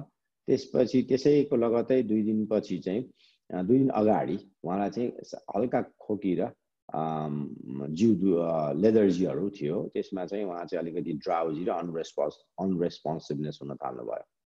अब सिटी स्क्यान गरियो हेडको त्यसले चाहिँ हाम के देखायो भन्दाखेरि चाहिँ यो लेफ्ट पोस्टियर सेरेब्रल आर्ट्री भन्ने एउटा नसा हुन्छ त्यहाँ चाहिँ एउटा चाहिँ क्लट जम्मा भएको देखियो। अब त्यस त्यो स्ट्रोक हो त्यो त्यसलाई स्ट्रोकै भनेर भनिन्छ। अब त्यसमा चाहिँ यो चाहिँ डिडाइमर चाहिँ पचहत्तर हजार देखिया छ यसमा कम्पेयर टु अदर यो चाहिँ इन्फ्लोमेटरी मार्कर भनेर हेर्छौँ उहाँको ट्रिटमेन्ट त्यो सानो हस्पिटलमा हुन सके भएर टर्सरी हस्पिटल ठुलो ठाउँमा सारियो ठुलो ठाउँमा सारे तापनि उहाँको स्ट्रोकमा त्यो क्लट देखिए तापनि स्ट्रोकको साइज ठुलो भएको भएर उहाँलाई चाहिँ जुन टिपिए भन्छौँ हामी त्यो युज गर्न सकिएन र उहाँको त्यो क्लट पनि रिट्र्याक्ट गर्न सकिएन। तर त्यसको लगत्तै हेर्दै जाँदा सिटी एन्जियोग्राम गर्दाखेरि चाहिँ चेस्टको छातीको त्यसमा चाहिँ फेरि पल्मोनरी एम्बोलिजम देखियो। अघि उहाँको हाम्रो चुडा डाक्टर साहबको पल्मोनरी एम् पल्मोनरी हाइपरटेन्सनको कुरामा यो सारा पल्मोनरी एम्बोलिजम भनेको त्यहाँ गएर बसिसकेपछि त्यो पल्मोनरी आर्ट्रिजले ब्लड सप्लाई गर्न सक्दैन। त्यसले गर्दाखेरि चाहिँ अक्सिजनेसन्सहरू कम हुन थाल्छ। अब अब आयो कुरा अक्सिजनेसनै कम हुन थालिसकेपछि अब ब्रेनमा स्ट्रोक छ मुटुमा सरी फोक्सोमा चाहिँ एम क्लट जम्मा भएको छ भन्दाखेरि केले मान्छेलाई चाहिँ पहिला घात गर्छ भन्ने कुरा बुझेर त्यसमा अब रिस्क भए तापनि यो हेपरेन भन्ने हामीले डक्टर्सहरूले सुरु गर्नुपर्ने भयो जो त ब्लड थिनर भनिन्छ हामीले र उहाँको चाहिँ लुपस एन्टिकोगुलेन्ट एउटा चाहिँ एसएलई भन्ने हुन्छ त्यो चाहिँ पोजिटिभ देखियो। त त्यसको लगत्तै उहाँलाई चाहिँ आठ दिनपछि रिहेबिलिटेसन सेन्टरमा डिस्चार्ज भयो। यो भयो पाँचौँ केस अब यसमा हेर्दाखेरि यसको पनि उहाँ यहीमा एउटै मान्छेको एमआरआइजहरू हो। यसमा चाहिँ यहाँ हेर्नुभयो भने यो पल्मोरी एम्बोलिजम भयो यो ब्रेनको चाहिँ यो ठुलो एरिया चाहिँ स्ट्रोक भएको भएर चाहिँ सुरुमा स्ट्रोकको मेडिसिन दिन पाइएन। अब यहाँ चाहिँ एउटा क्लट जम्मा भएको देखिएको छ। यसलाई चाहिँ हामी ischaemic stroke with concurrent stroke हो तर कन्करेन्ट पल्मोनरी एम्बोलिजम भनेर डायग्नोसिस भयो। अब आयो त्यति त भएन हामीले अहिलेसम्म कुरा गरेको ठुलो बडा मान्छेमा हुने एडल्टमा हुने कोभिडको फाइन्डिङ्सहरू अब अहिले आएर के देखिएको छ भन्दाखेरि चाहिँ पा पाँचदेखि पन्ध्र वर्षका पिडिया बच्चाहरूमा पनि पिडियाटिक मल्टा सिस्टम इन्फ्लोमेटरी सिन्ड्रोम कोभिडले गरेको पाइएको छ। यो पेपर जामा न्युरोलोजीमा पब्लिस भएको थियो। यसमा चाहिँ लन्डनमा भएको मार्च एकदेखि मे आठसम्मको जति पनि बच्चाहरू चाहिँ कोभिड भाइरस लिएर पोजिटिभ भएर न्युरोलोजिकल मेनिफेस्टेसन्स लिएर आएका थिए उनीहरूको बारेमा यसमा चाहिँ they they they they study them अब यति उनीहरूको चाहिँ पिसिआरले चाहिँ कोभिड नाइन्टिनलाई नेटोफेन्ज स्वपबाट कन्फर्मेसन गरिएको थियो र त्यसै गरेर आइजिजी एन्टिबडिजबाट पनि गरिएको थियो। अब सत्ताइसजना थिए सत्ताइसजनामा चारजनालाई चाहिँ जो चाहिँ पहिला कम्प्लिटली हेल्दी थिए उनीहरूमा चाहिँ न्युरोलोजिकल सिम्टम्स देखियो। सत्ताइसमा चार भनेको त झन् फोर्टिन पोइन्ट एट पर्सेन्ट भयो this a very high number globally हेर्दाखेरि। अब यसकै हिसाबले उनीहरूको सिम्टम्सहरू के थियो भन्ने कुरा बुझ्नु पऱ्यो। उनीहरूको सिम्टम्समा चाहिँ कन्फ्युजन्स एन्सेफलोपथीले गर्दाखेरि अलिकति डिसओरिएन्टेसन हुने टाउको दुख्ने र ब्रेन स्ट्रिम र सेरेबलर साइन्स भन्ने चाहिँ अब धेरै किसिमका साइन्सहरू हुन्छ बोल्न नसक्ने पनि हुनसक्छ अथवा हिँड्दाखेरि लडबडाएर हिँड्ने अथवा विकनेस हुने मसल्स त्यो कुराहरू देखियो।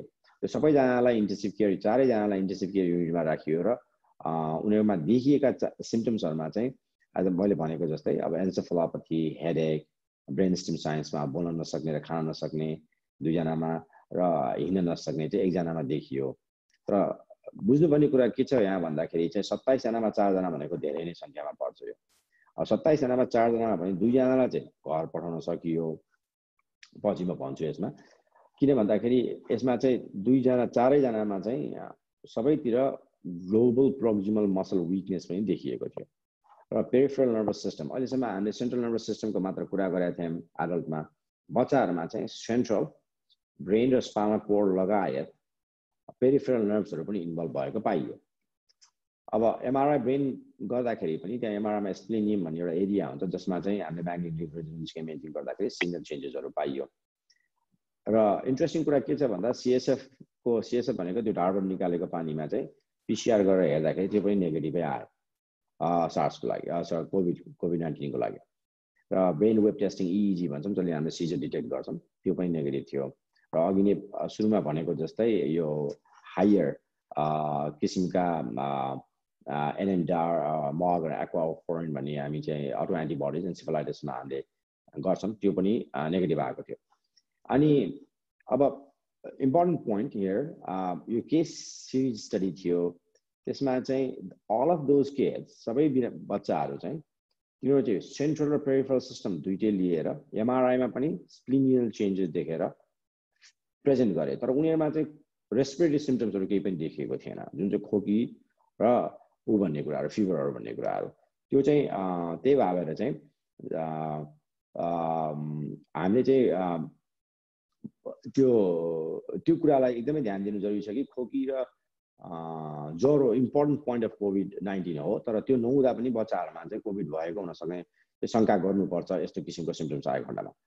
यो त्यो तिनैजना मध्येलाई सबैलाई यो किसिमको औषधिहरू चलाइयो। त्यसमध्ये चाहिँ दुईजना चाहिँ फुल्ली रिकभर गरेर घर पठाइयो अठार दिनपछि एघारदेखि अठार दिनको बिचमा।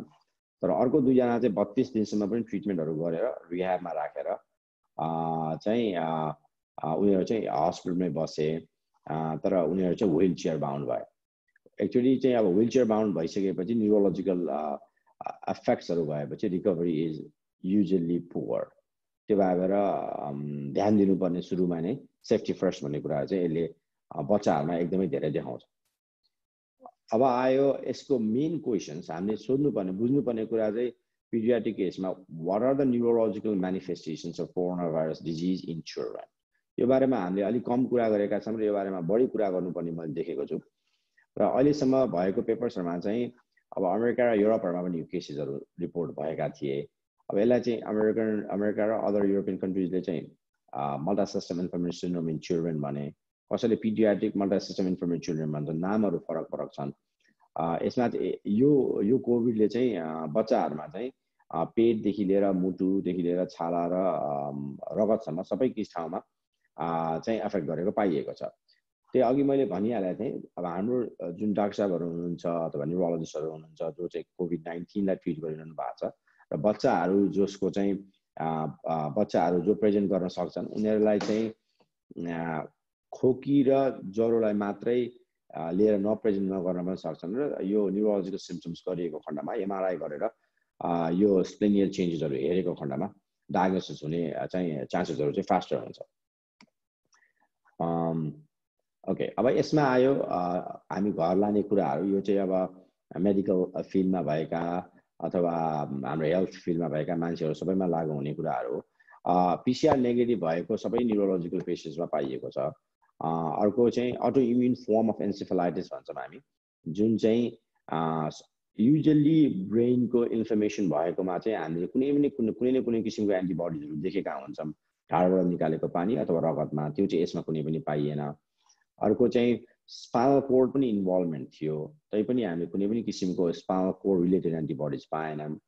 डी डाइमर्सलाई चाहिँ युजल्ली हामीले चाहिँ प्रेडिक्टरको हिसाबले हेऱ्यौँ। त्यो प्रेडिक्टर कस्तो भन्दाखेरि चाहिँ त्यसले चाहिँ स्ट्रोक गर्न सक्ने र न्युरोलोजिकल मेनिफेस्टेसन्सहरू चाहिँ बिगार्दै जान सक्ने चाहिँ बढी देखिएको छ त्यसमा प्रेडिक्टरको हिसाबले। अब यसमा यति यति पनि भएर अरू अरू किसिमका अब एडल्ट अथवा पिडियाट्रिक्समा चाहिँ हामीले जुन अघि मैले सुरुमा भनेको ज्ञान बारे सिन्ड्रोम भनिन्थ्यो जुन चाहिँ बिस्तारै खुट्टाबाट चाहिँ झमझमाट सुरु भएर विकनेस हुँदै जाने त्यो कुराहरू पनि धेरै बच्चामा पनि र एडल्ट्समा पनि देखिएको छ न्युरोलोजिकल हिसाबले हेर्दाखेरि। र यो सबै किसिमको सिम्टम्सहरूलाई चाहिँ समेटेर अगाडि बढ्दाखेरि हामी चाहिँ खालि टेस्टमा मात्र रिलायबल नभएर we have to have a clinical diagnosis and uh, symptoms. Uh, we have to have a uh, keen eye to watch the symptoms.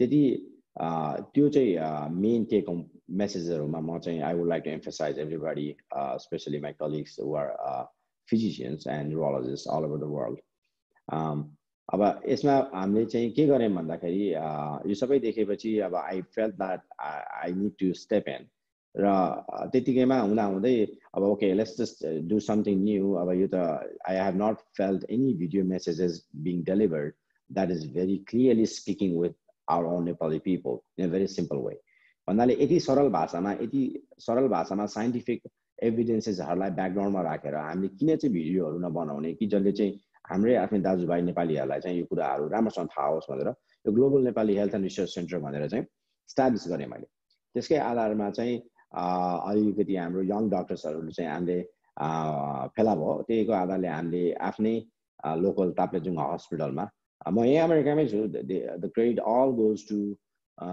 the my team who work there very hardly trying to out how to arrange this distance and uh, do the video shoot to make understand people. नेपालको हाम्रो दाजुभाइ दिदीबहिनीलाई किन मास्कको महत्त्व कस्तो का किसिमको mask लाउनुपर्छ र मास्क मात्र लगाएर नभएर व्यक्तिगत अनि सामाजिक दुरीको इम्पोर्टेन्स किन छ भन्ने कुराहरू यसले साह्रै राम्रोसँग I feel that with it a lot of research and with put a lot of scientific evidences behind it to help people understand that so if you get a time you can go and watch this videos and help other people educate as well यसले चाहिँ safety फर्स्टमा किन focus गर्छ जबसम्म हामीसँग चाहिँ uh, कुनै पनि किसिमको अब भ्याक्सिन भनौँ अथवा मेडिकेसन्स छैन भन्ने कुरामा चाहिँ त्यो भए तापनि अहिले चाहिँ साइन्सले के देखाएको छ भन्दा सेभेन्टी पर्सेन्ट इम्युनोजेनेसिटी भ्याक्सिनले देखाउँछ।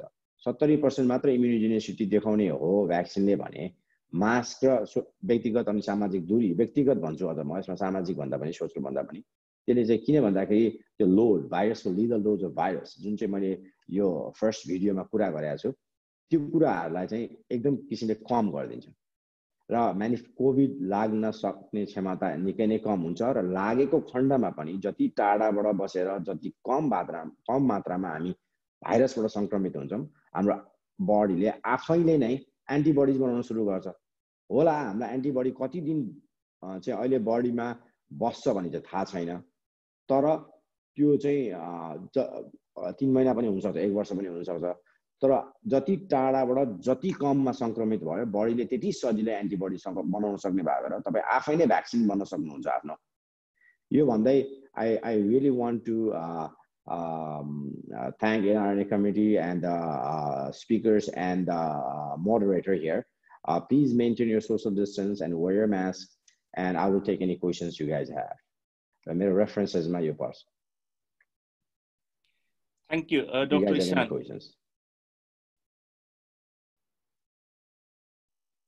Thank you, uh, thank you, Dr. Ishan. It's a really great presentation.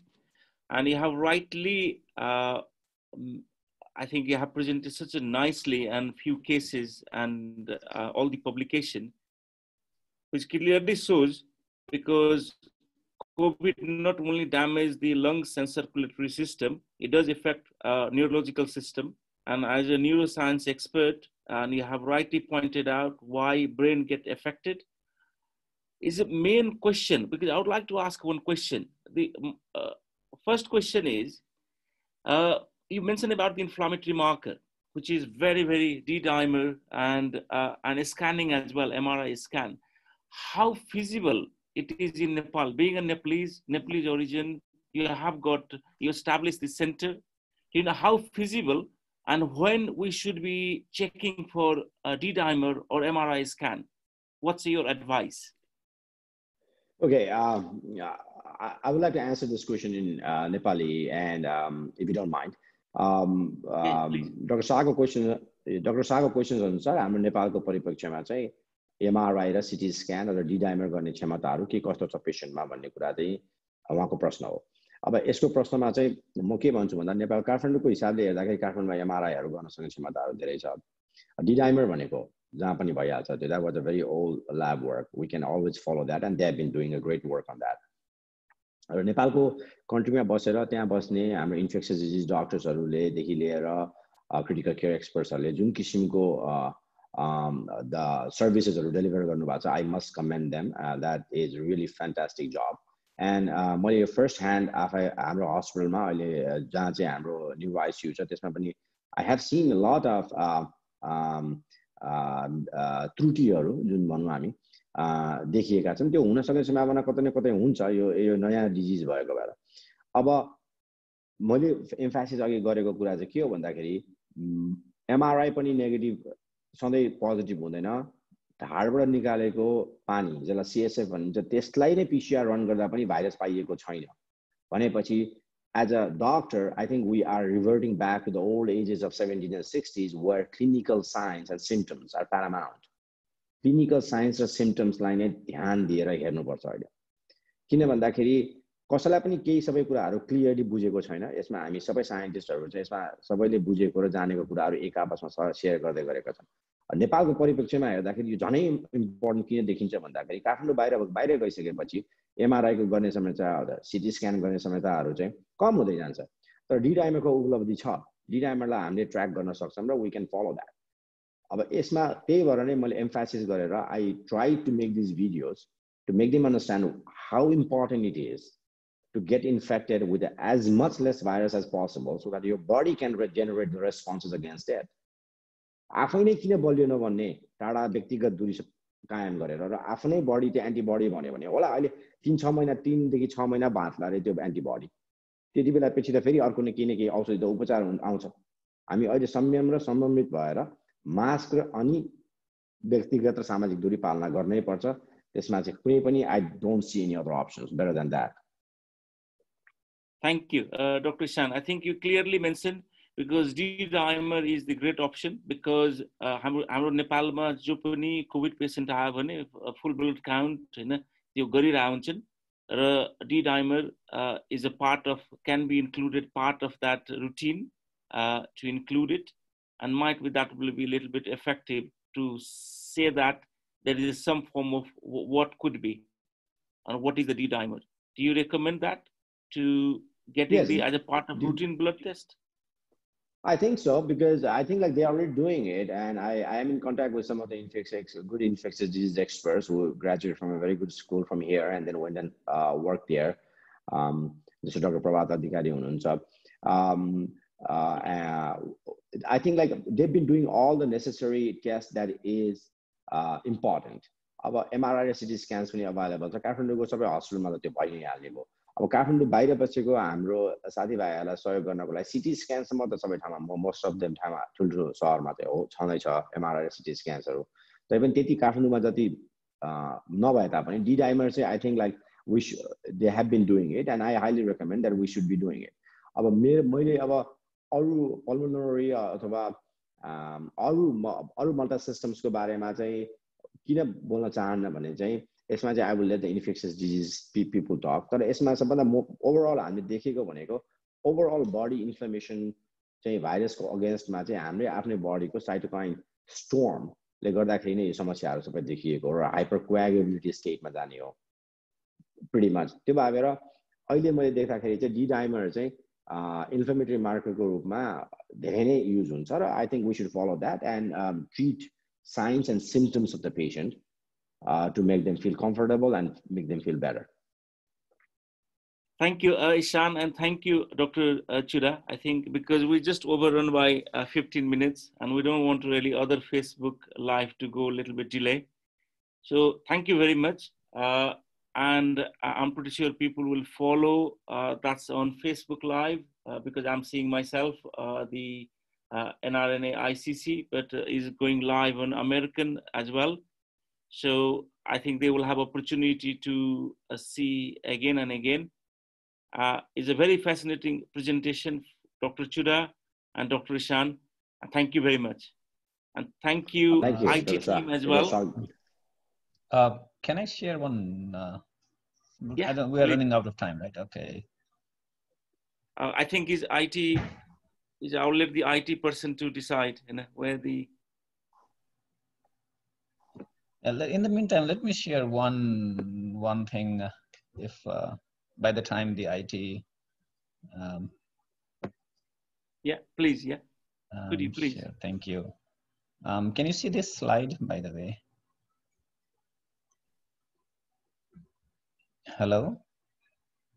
Yes, we can see your slides. Yeah Yeah, we can say. I just yeah, just want to share some of the you know complication. These are some of the friends, you know, my very close friend. There, uh, well, they passed away already.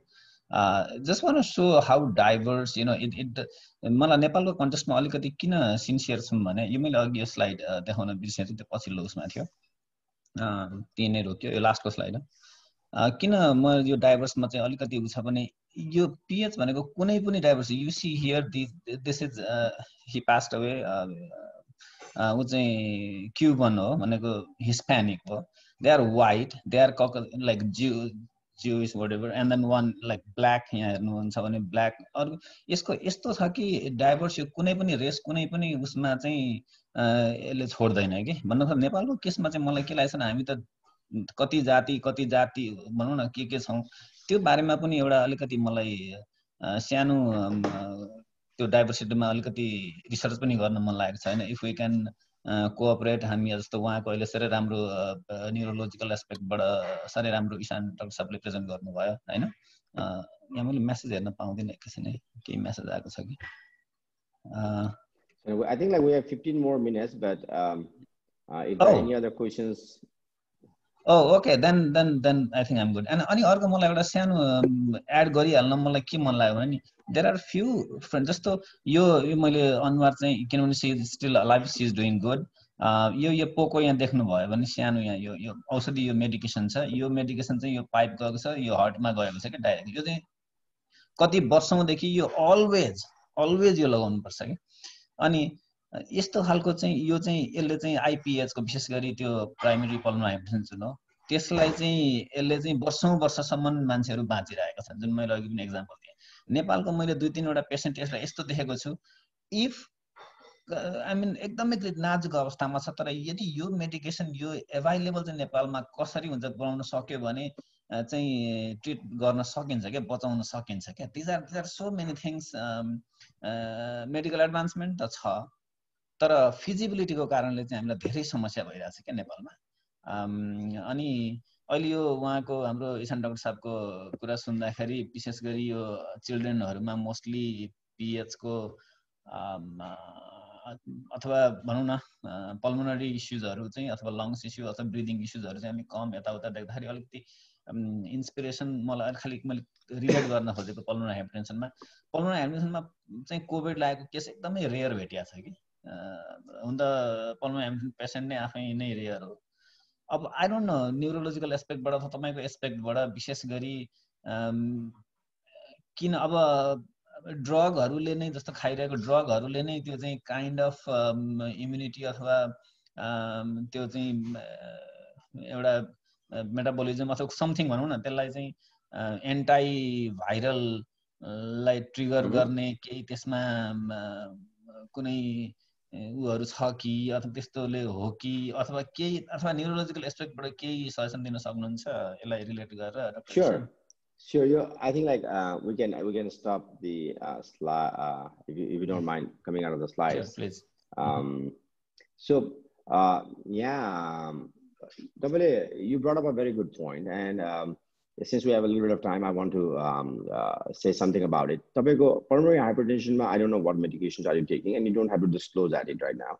Uh, usually, no, I'm, I'm open to that. I'm, I'm, taking sildenafil and uh, ambrisentan, which is uh, uh, which is like um, ER endothelial receptor antagonist हो त्यो होइन S S रिसेप्टरमा पर्ने कुरा हो त्यो पनि that's good मैले भन्न खोजेको चाहिँ अब पल्मरी हाइपरटेन्सनमा किन कोभिड देखिएको कम देखिएको छ भन्ने कुरामा I have not done the research and it would be very premature for me to speak about it तर अरू के देखिएको छ भन्दा हाम्रो चाहिँ अब जुन पेसेन्ट्सहरू चाहिँ इम्युनो सप्रेसिभ ड्रग्समा हुनुहुन्छ जस्तो रिमेटेड अर्थराइटिस भनौँ अथवा मल्टिपल स्क्लोरोसिस भनौँ अथवा चाहिँ अरू किसिमको न्युरोलोजिकल डिसअर्डर जुनलाई चाहिँ क्रोनिक लङ टर्म हामीले माइस्थिनिया ग्राइभिसहरू भनौँ त्यस्तोहरूमा चाहिँ कम किन देखिएको छ भन्दा you're already suppressing the immunosuppressions by taking the some sort of immunosuppressive agents त्यसले गर्दाखेरि भाइरस छिरेपछि जुन किसिमको साइटोकाइन स्टोर्म्स हाइप्रोकोएबिलिटी स्टेटमा जान्छ त्यो गएको पाइएको छैन। तर it is not the confirmatory statement I must say been hypothesized or they are they are this the hypothetical statement or you probably they don't manifest that much of uh, coronavirus manifestations maybe they are already immunosuppressed that's what they are already saying it तर त्यो भनेपछि त त्यो भनेपछि अब diabetes भएको मान्छेमा पनि इम्युन सप्रेसन त हुन्छ so why we are seeing more mortality in diabetes भन्ने कुरा आउँछ क्या अब त्यसले गर्दाखेरि यो कुनै पनि किसिमको uh, and white nowhere. There are a lot of gray zones that we still need to explore and understand. Um, you, I, I, think like I answered your questions um, question um, correctly. Um, no, no, you're right. You're right. Like, Absolutely. It's like uh, I don't know. What do you, what do you, what are your thoughts on this, Dr. Shah? I think you're right completely. I think, uh, uh, yeah, I think I've got no because yeah, no, uh, nothing really much to add, put in that way. Okay, because you've been working with oncology and all those things, because you you've seen quite a devastating case for sure, um, and they are always in this immunosuppressions, and uh, we've all seen. Uh, uh, we're fortunate that we're not on the other side of the bed. Let's put it that way. Uh, um, there's, there's, a few things going on. The shielding is the another thing. Like someone, uh, uh, like uh, Dr. Chuda, uh, if in the UK they'll go for shielding, they're not going to come out. They're going to do home from work, and uh, you know. So so basically, the less contacts, and as you rightly pointed out, if you're wearing mask and social distancing, is less chance to really catch. So, so, so basically what we see, because even diabetic patient here in the UK, government had the advice, if elderly above 70, they should be shielding themselves. So that was the one factor which has reduced significantly. The, the other thing is people, they really take care themselves as well. And that's uh, the another uh, uh, issue because as we're fit and well, being in working in health system, we little bit uh, uh, uh, moderate about the what we should be doing it Uh, uh, uh and and, sure. and that's that's really that's why makes much more medics medics and frontline worker more vulnerable and that's why we had over hundred uh, people, hundred doctors died. Uh, uh, uh, you know that, that's the reason. So Right. I, wa- I want to add something here एउटा स- quickly. हजुर, It's please, very go ahead. wo- uh, um, अब यही कुरामा नै मैले भन्न खोजेको कुरा के हो भन्दाखेरि मास्क लगाउने हो हामीले। मास्क लगाएर कम्प्लिटली भाइरस रोकिन्छ भन्ने कुरा छैन। किन भन्दाखेरि मास्कको पोर्स र भाइरसको पोरमा धेरै भिन्नता छ। तर मास्कलाई तिन पत्रे लगाउनु पर्छ भन्ने कुराहरू जुन मैले त्यो भिडियोमा भनेको छु त्यो चाहिँ एक्चुली हाम्रो कपडा त हो कपडा चाहिँ उबन हुन्छ यसरी। उबन भएपछि जति धेरै लेयर भयो त्यति भाइरस चिन्नलाई गाह्रो हुन्छ। टु द पोर्स एउटा कुरा भयो। र जति टाढाबाट जति कम मात्रामा भाइरस हुन्छ त्यसले गर्दाखेरि बडीले जेनेरेट गर्न सक्ने भयो। मासको महत्त्व कम मात्रामा अर्कोबाट आफूलाई भाइरस लागोस् भन्ने हो। व्यक्तिगत अनाथ- अनि व्यक्तिगत दूरीले चाहिँ आफूमा भएको एन्टिबडिजले चाहिँ रेस्पोन्स जेनेरेट गर्ने भन्ने हो।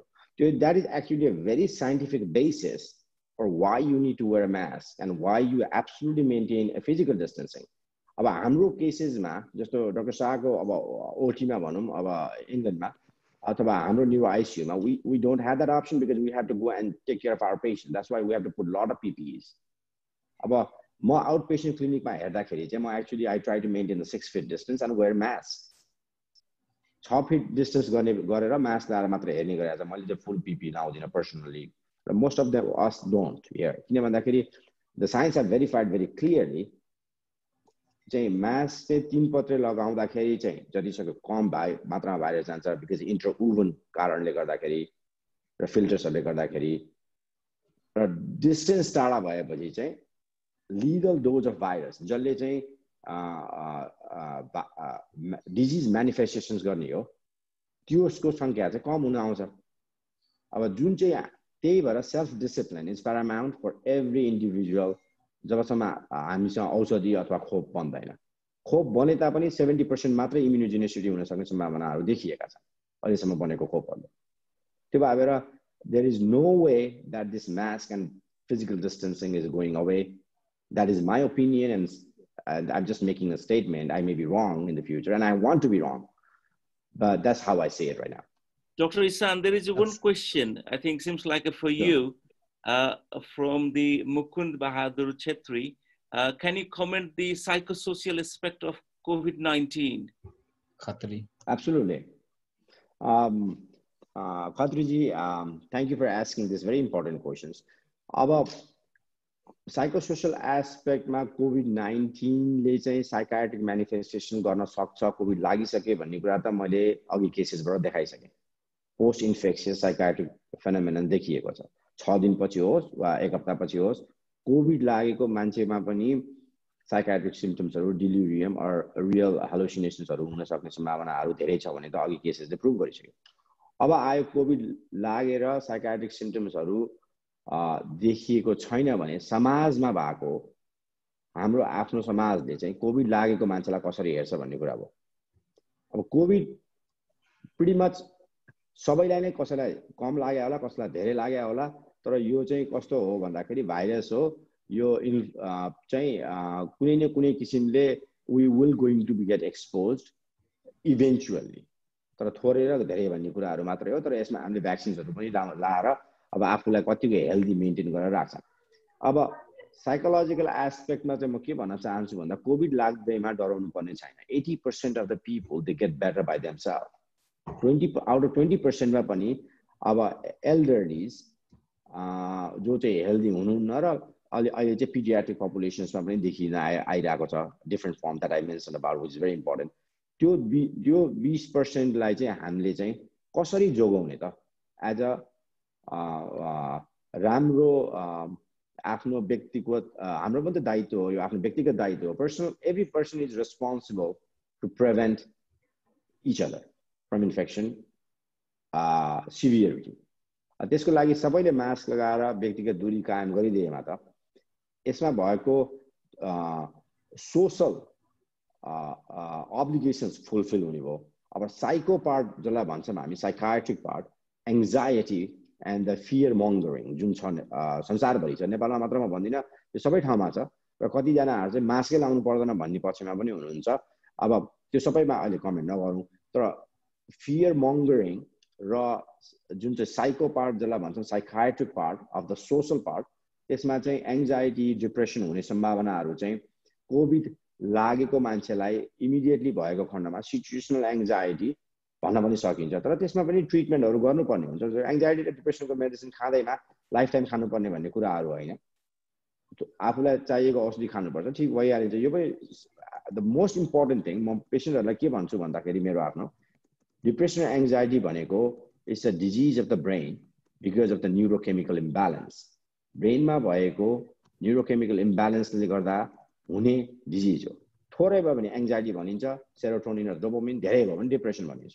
डिफ्रेन्ट किसिमको मेनिफेस्टेसन हुन्छ। त्यो ट्रिटमेन्ट सेम हो। र यो औषधि खाँदैमा र यो हुँदैमा आफूलाई चाहिँ हामी चाहिँ मानसिक रूपले कमजोर भयौँ भन्ने ठान्नु चाहिँ हुँदैन पहिलो कुरो। दोस्रो कुरो यो भनेको जसरी हामीलाई डायबिटिज हुन्छ त्यसरी नै डिप्रेसन एङ्जाइटी हुन सक्ने सम्भावना हुन्छ।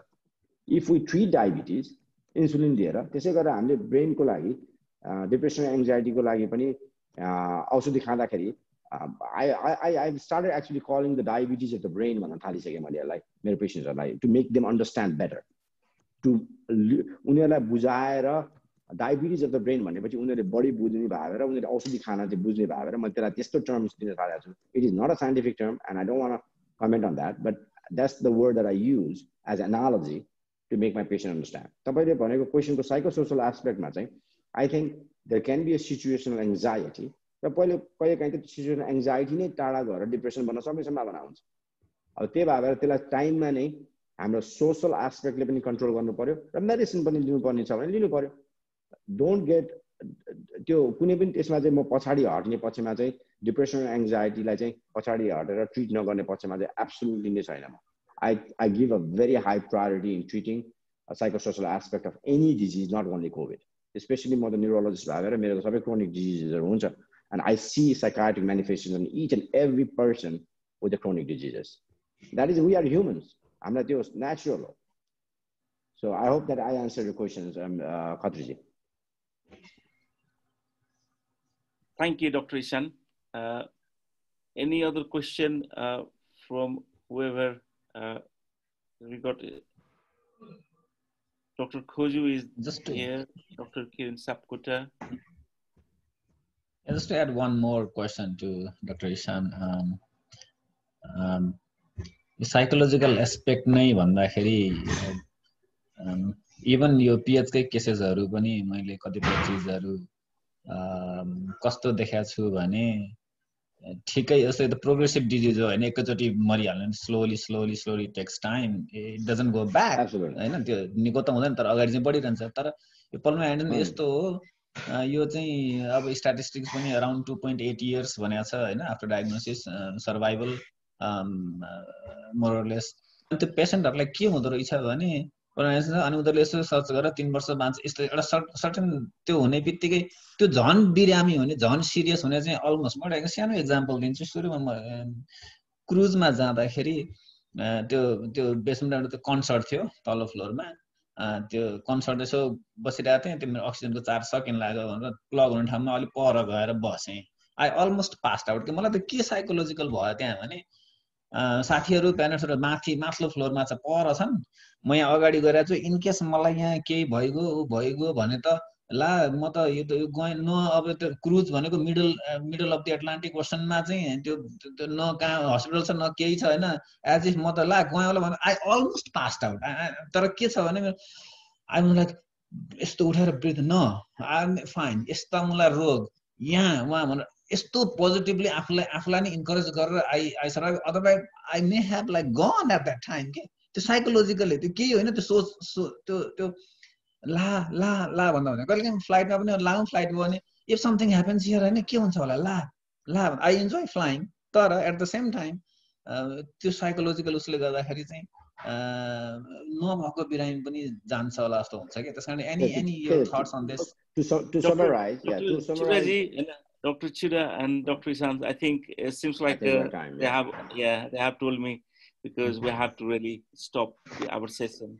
because they have to go in different yeah, I, I, I, will I, I, will I will I would like to close the statement by just answering uh, one, one uh, Dr. Chura's uh, question is तपाईँको pulmonary हाइपरटेन्सनको case होस् अथवा कुनै पनि अर्को case होस् uh, every chronic disease comes with some sort of psychiatric manifestations. Please recognize them, understand them, and talk to your doctor.